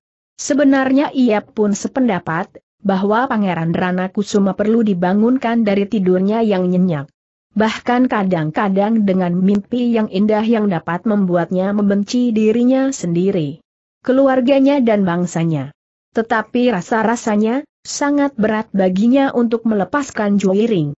Sudah lama anak muda itu tinggal di padepokannya. Bahkan rasa-rasanya Juiring sudah seperti anaknya sendiri. Meskipun setiap saat Juiring akan dapat datang ke padepokan ini, tetapi anak itu tidak akan tampak lagi mondar-mandir di halaman, bekerja di sawah dan pategalan, serta berada di bangsa latihan. Apakah tidak ada jalan lain yang dapat ditempuh orang tua itu bertanya kepada Ki Dipanala. Aku tahu kakang. Sangat berat rasanya melepaskan Raden Juiring. Tetapi aku berharap, agar Kakang memberikan kesempatan yang luas kepadanya untuk membentuk masa depannya dengan semua kesempatan dan kemungkinan yang ada padanya, selain harapan-harapan yang jauh lebih berharga dari itu. Aku mengerti. Dan aku seharusnya tidak boleh berkeberatan. Tetapi aku tidak dapat melepaskan diri dari berbicara tentang kepentingan diriku pula tentang perasaan seorang tua, dan tentang ketergantungan perasaanku tanpa keseimbangan nalar. Aku mengerti, seperti kesadaran seorang yang menangisi dan berteriak memanggil nama seseorang yang telah mati. Di dalam keadaan yang wajar, ia tentu mengerti, bahwa suaranya tidak akan dapat didengar, dan yang mati tidak akan kembali. Tetapi di dalam saat tertentu, kesadaran itu menjadi pudar jika kita mengalaminya. Ki Dipanala hanya dapat menarik nafas dalam-dalam. Kiai Danatirta adalah orang yang mumpuni, sehingga ia menyadari pergolakan di dalam dirinya sendiri. Menyadari keburaman kesadarannya. Menyadari kepincangan pertimbangan nalarnya. Namun setelah merenung sejenak, Kiai Danatirta itu berkata, agaknya memang tidak ada yang dapat aku lakukan daripada mengiyakannya orang tua itu berhenti sejenak, lalu, bukan karena aku seseorang yang memiliki kemampuan untuk mengatasi kesulitan perasaan sendiri. Tetapi yang lebih daripada itu, aku mengerti bahwa aku tidak akan dapat melawan kehendak Pangeran Rana Kusuma. Selain ia seorang pangeran, ia juga ayah dari Raden Juiring itu. Sebagai seorang ayah, ia mempunyai wewenang mutlak untuk itu. Sekali lagi Ki Dipanala menarik nafas dalam-dalam. Memang tidak akan ada keputusan lain yang dapat diambil oleh Kiai Danatirta. Ia tentu tidak akan memanggil Raden Juiring dan bertanya kepadanya, apakah ia bersedia atau tidak, karena menurut pertimbangannya, Raden Juiring tidak mempunyai pilihan selain melakukan perintah ayahandanya seperti pada saat ia harus meninggal istana itu. Demikianlah maka ia sekarang harus kembali ke dalamnya, meskipun Raden Juiring pernah bersikap untuk tidak mengaitkan dirinya lagi dengan istana dan keluarganya. Tetapi kini agaknya ada pertimbangan lain. Namun sebenarnya lah, Juiring dicengkam oleh kebimbangan. Meskipun ia tidak berada di antara gurunya dan Ki Dipanala, namun ia duduk sendiri di dalam biliknya sambil merenungi dirinya sendiri, keluarganya dan Surakarta. Kelebihan harta benda tidak menjamin kebahagiaan sebuah keluarga katanya di dalam hati, meskipun jika aku harus memilih, apakah aku lebih senang menjadi seorang yang kaya atau seorang yang miskin, aku akan memilih untuk menjadi seorang yang kaya. Namun aku tidak akan dapat ingkar, bahwa kekayaan bukan satu-satunya sumber kebahagiaan. Dan Juiring melihat ke dalam dirinya sendiri, keluarganya yang kisruh meskipun bergelimang kekayaan dibanding dengan keluarga yang tampak tenang dan damai di padepokan jati aking ini. Jika fajar mulai memerah di timur, dan angin pagi yang segar bertiup di antara dedaunan, kemudian bayangan matahari yang menguning di wajah air jernih yang mengalir di parit-parit, disusul dengan kerja di panasnya pagi, terasa betapa hidup ini teramat segar dan tenang. Suara seruling yang dilontarkan oleh anak-anak yang menggembalakan kambing di tebing kali, dentang palu pandai besi di perapian, dan rengek anak-anak menjelang minum susu ibunya di antara lenguh lembu dan kebau, adalah suasana damai yang tidak akan ditemukan di dalam kota Surakarta yang sibuk oleh derap kehidupan yang terasa terlampau cepat dan tergesa-gesa. Aku adalah salah seorang dari masa yang akan segera tertinggal oleh derap zaman desis juiring di dalam hatinya. Tetapi aku senang menikmati hidup yang damai tetapi kemudian, namun aku tidak dapat mengelakkan jalan hidup yang terbentang di hadapanku jalan yang menjadi semakin ramai dan riuh. Dan apakah aku akan membiarkan diriku semakin jauh ketinggalan, selagi ada kesempatan untuk menemukan penghidupan baru yang barangkali akan dapat menjadi pancadan untuk mengembangkan hidup di padasan ini tanpa meninggalkan ciri-ciri kedamaian dan bentuk kekeluargaan yang rapat? Pertanyaan itu pun ikut bergulat di dalam hati Juiring. Namun ia pun sadar, bahwa apa pun keputusannya, jika ayahnya memaksakan kehendaknya, ia tidak akan dapat mengelak. Dan itulah sebabnya ia kemudian berkata kepada diri sendiri, Aku harus membentuk jalanku sendiri, bukan sekedar terseret oleh arus betapapun derasnya, jika arus itu tidak sesuai dengan nuraniku. Dengan sandaran itulah Juiring kemudian memutuskan di dalam hatinya, ia akan pergi ke kota dan mencoba hidup di dalam istana yang megah sebagai putra seorang pangeran yang menjabat senapati yang berpengaruh di Surakarta.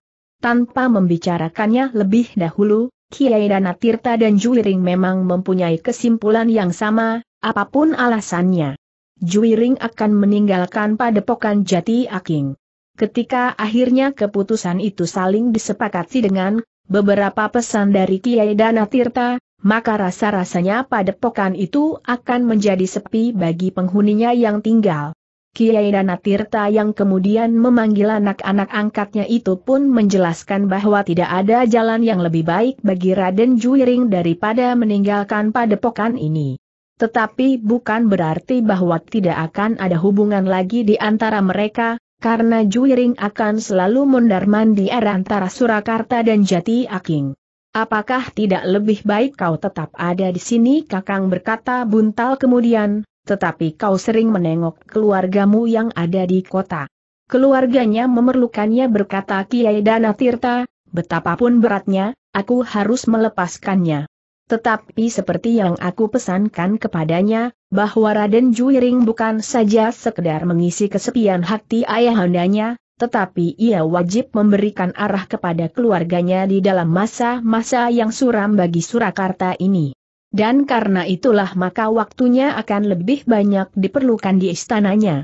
Namun demikian, ia masih harus menyempurnakan ilmunya. Dan aku berharap sepekan sekali Raden Juiring akan datang. Ya ayah jawab Juiring, aku akan selalu datang. Aku menyadari bahwa ilmuku masih jauh dari mencukupi. Apalagi ketika aku berada di lingkungan para bangsawan. Terlebih lagi ketika aku bertemu dengan Kamas Set di pinggir bengawan. Maka aku merasa diriku masih terlampau kecil. Tentu, Kiai Danatirta mengangguk-anggukan kepalanya.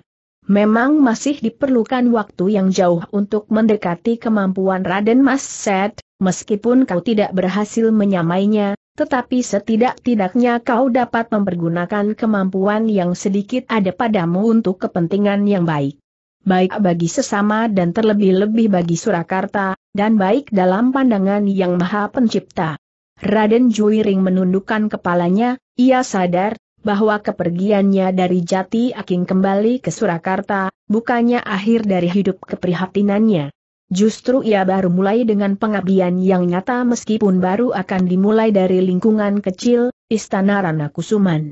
Akhirnya, datanglah saatnya Juiring benar-benar meninggalkan Jati Aking bersama Ki di Panala. Terasa setiap hati menjadi berat. Buntal yang hampir setiap saat selalu bersamanya di dalam kerja, tidur dan bergurau, merasakan betapa ngelangutnya perpisahan itu.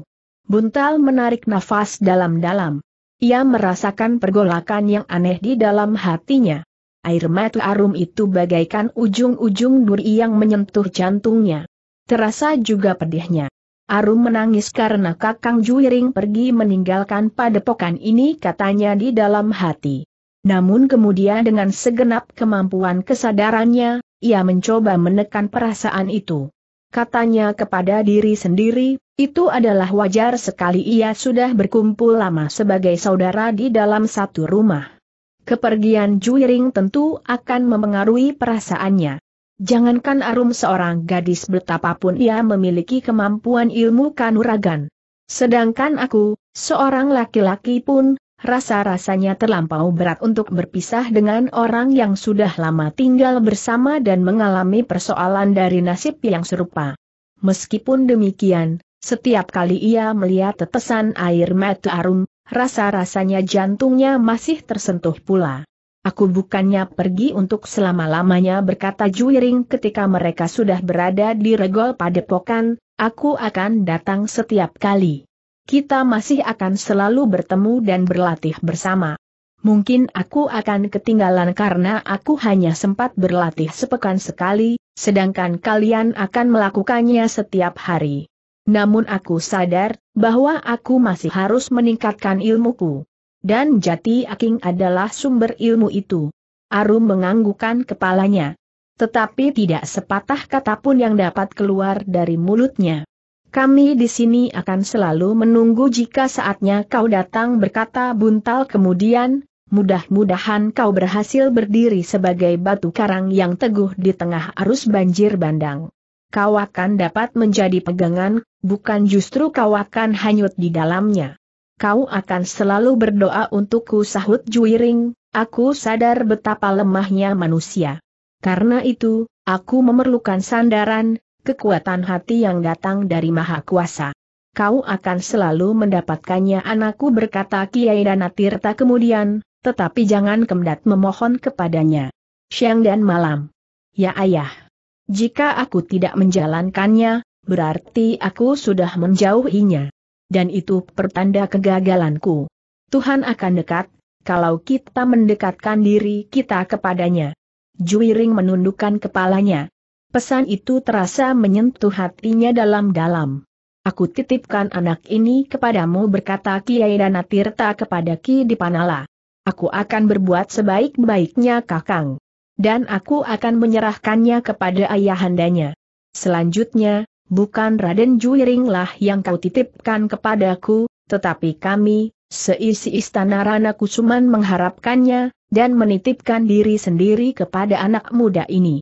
Ah Raden Juiring berdesah. Demikianlah maka datanglah saatnya perpisahan itu. Raden Juiring dan Ki Dipanala pun segera meloncat ke punggung kudanya dan meninggalkan padepokan jati aking dengan hati yang berat, meskipun ia masih akan selalu datang setiap pekan. Karena itu pula lah, maka semua barang-barangnya, pakaiannya dan apa saja, tidak dibawanya, agar setiap saat ia memerlukan jika ia datang ke padepokan itu, tidak harus membawanya lagi dari kota. Untuk beberapa lama, keduanya sama sekali tidak berbicara. Ki Dipanala mengerti, bahwa Juiring masih berusaha mengendapkan perasaannya. Agaknya ia pun merasakan sesuatu yang hilang ditinggalkan di padepokan jati aking. Hubungan yang rapat dengan Buntal dan Arum sebagai saudara sekandung saja sikap yang lembut dari Kiai Dana Tirta, dan suasana yang nyaman dan damai. Namun kemudian di sela-sela derap suara kudanya, Juwiring berkata, Paman, rasa-rasanya aku akan pergi ke daerah yang asing bagiku meskipun aku sebenarnya pulang ke rumah orang tuaku.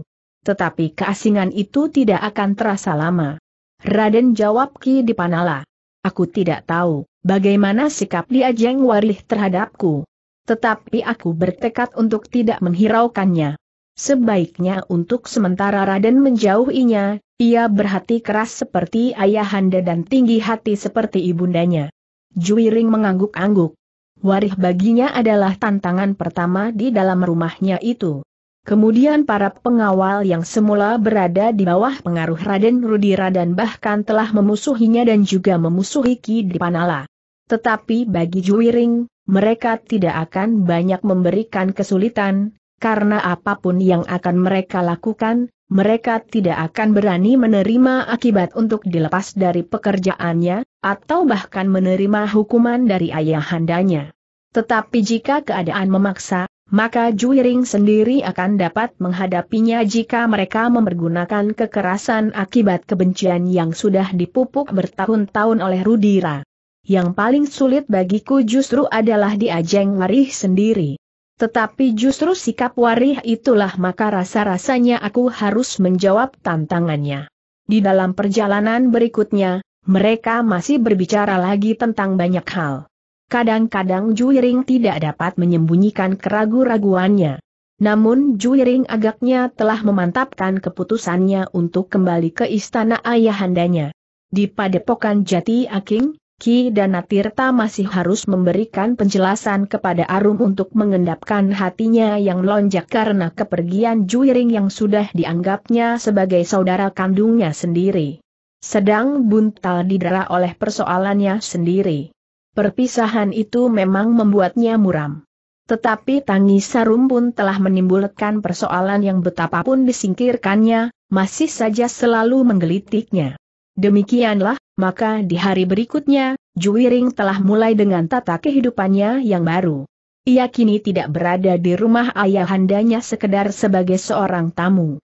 Tetapi ia kini adalah putra Pangeran Rana Kusuma. Bagi para pelayan dan abdi di istana itu, timbullah berbagai macam dugaan tentang putra Pangeran Rana Kusuma yang seorang ini. Beberapa orang menganggapnya sebagai musuh yang berbahaya. Juiring tentu akan mempergunakan kesempatan untuk membalas dendam, karena mereka merasa pernah melakukan tindakan kekerasan di masa lampau, baik selagi mereka masih dipimpin oleh Sura maupun kemudian oleh Mandra.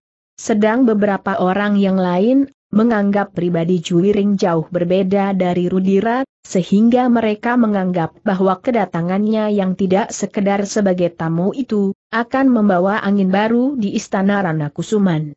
Tetapi yang pertama-tama harus diatasi oleh Juiring adalah perasaan rendah diri yang selama ini membayanginya.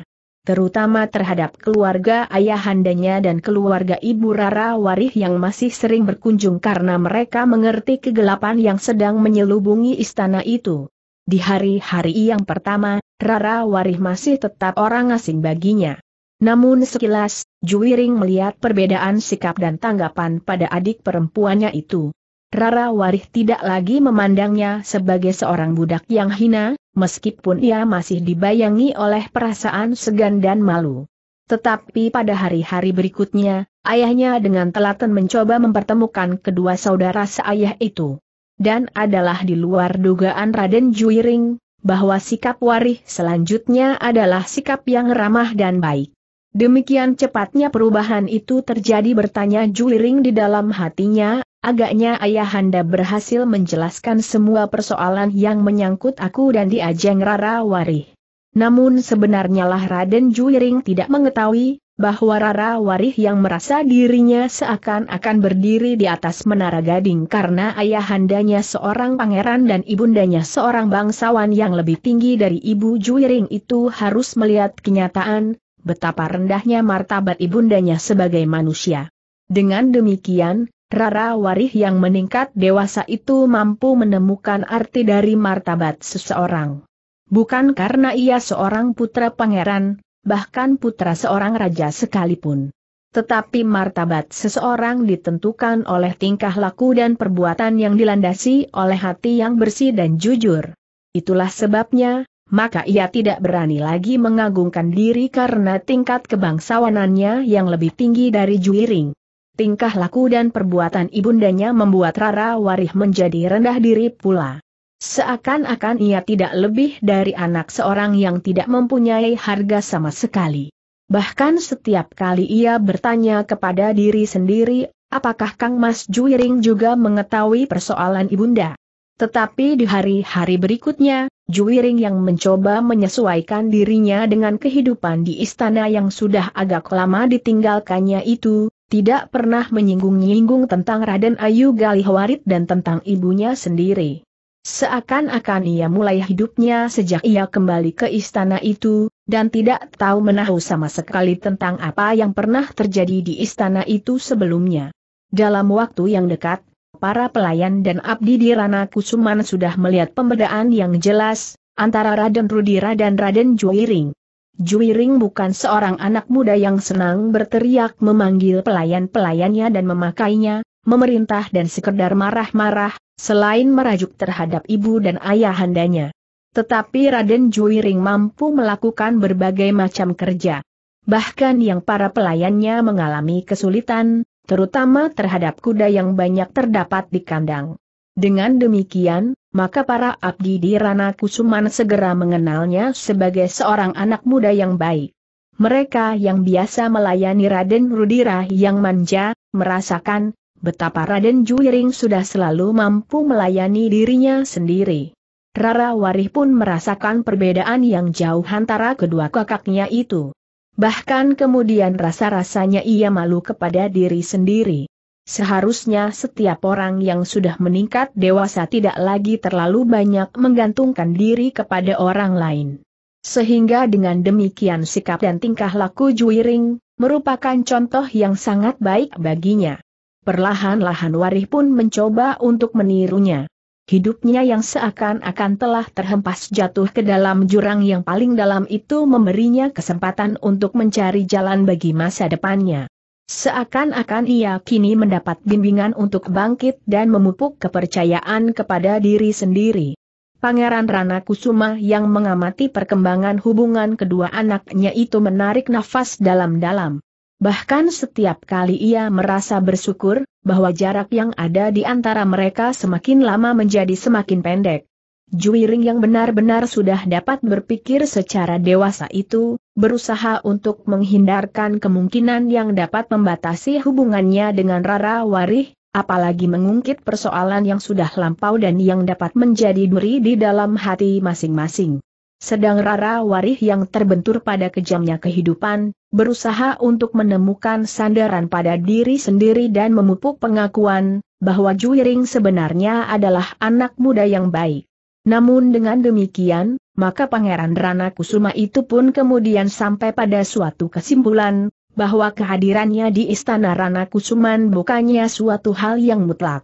Bahwa ia mendapat kesimpulan tentang anak-anaknya itu, telah melepaskannya dari kebimbangan untuk bertindak lebih jauh sebagai seorang laki-laki terhormat di Surakarta.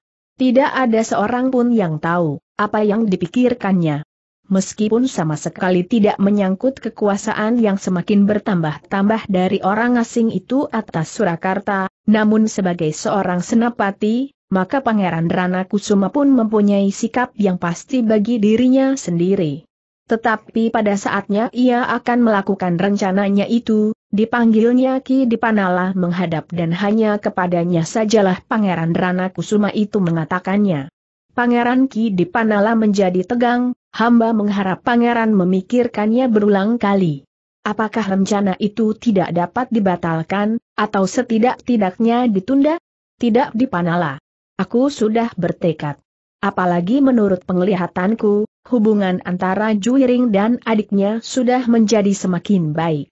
Dengan demikian, seandainya aku tidak akan pernah kembali lagi ke rumah ini, aku sudah tenang meninggalkannya. Tidak pangeran. Masih ada persoalan yang harus diperhitungkan. Mungkin akibat daripada peristiwa itu akan berkepanjangan. Pangeran Rana Kusuma menarik nafas dalam-dalam. Namun ia menggeleng sambil berkata, apa boleh buat di Panala. Aku sudah menjadi seorang pengkhianat bagi Surakarta, karena aku selalu berhubungan dengan orang-orang asing dan bahkan memberi kesempatan kekuasaan mereka berkembang, sekedar untuk pemuasan diri sendiri. Dengan demikian, maka aku sudah menjadi seorang yang mementingkan diriku sendiri. Tetapi apakah artinya, jika dengan demikian justru diriku sendiri inilah yang kemudian mendapat hinaan itu? Ki Dipanala termenung sejenak. Yang terbayang adalah peristiwa yang mengerikan akan terjadi. Tetapi ternyata ia tidak dapat mencegahnya. Dan apa yang direncanakan oleh Pangeran Rana Kusuma itu benar-benar dilakukannya. Ketika bulan bulat di langit, dan udara cerah, Pangeran Rana Kusuma telah memerintahkan menyiapkan kuretanya. Ayahanda akan menghadap ke istana bertanya Rara Warih. Pangeran Rana Kusuma menjadi bimbang sejenak. Dipandanginya wajah anaknya yang tidak lagi secerah saat ibundanya masih ada di istana ini. Apakah Ayahanda dipanggil oleh Kang Jeng Susuhunan? Metu Pangeran Rana Kusuma menjadi redup. Kemudian terdengar ia berdesah perlahan-lahan. Warih berkata Pangeran Rana Kusuma, baik-baiklah di rumah. Di mana Kang Mas Mujuwiring? Di belakang ayahanda. Panggillah ia menghadap. Rara Warih mengerutkan keningnya. Tetapi ia tidak bertanya lagi. Dipanggilnya Juiring, yang sedang berada di belakang. Ketika Juiring kemudian menghadap ayahandanya, ia terkejut melihat sikap dan tatapan mata Pangeran Rana Kusuma. Tetapi ia tidak berani bertanya sesuatu sebelum Pangeran Rana Kusuma sendiri memberitahukan kepentingannya. Sejenak Juiring menunggu. Dan kemudian didengarnya suara ayahnya dalam, baik-baiklah di rumah Juiring. Aku senang melihat kalian telah berubah dan saling mendekatkan diri sebagai dua orang kakak beradik kata-kata Pangeran Rana Kusuma terputus. Agaknya masih ada yang akan dikatakannya, tetapi rasa-rasanya tidak dapat dilontarkannya. Juiring merasakan sesuatu yang lain pada ayahandanya. Karena itu, maka setelah beberapa saat ia menunggu, ayahnya masih tetap berdiam diri, maka ia pun kemudian bertanya, ke manakah ayahanda akan pergi sekarang ini? Ada tugas yang harus aku lakukan Juiring. Perintah Kang Jeng Susuhunan? Sejenak Pangeran Rana Kusuma termangu-mangu. Namun sejenak kemudian bibirnya tersenyum sambil berkata, tentu. Tentu perintah Kang Jeng Susuhunan. Nah, tinggallah di rumah baik-baik mungkin aku tidak pulang malam nanti. Kedua kakak beradik itu termangu-mangu. Namun mereka tidak dapat bertanya lebih jauh, karena Pangeran Rana Kusuma pun kemudian meninggalkan keduanya dan turun ke halaman. Keretanya sudah siap menunggu di bawah tangga sehingga sejenak kemudian Pangeran Rana Kusuma itu pun hilang di balik pintu keretanya yang segera berderap.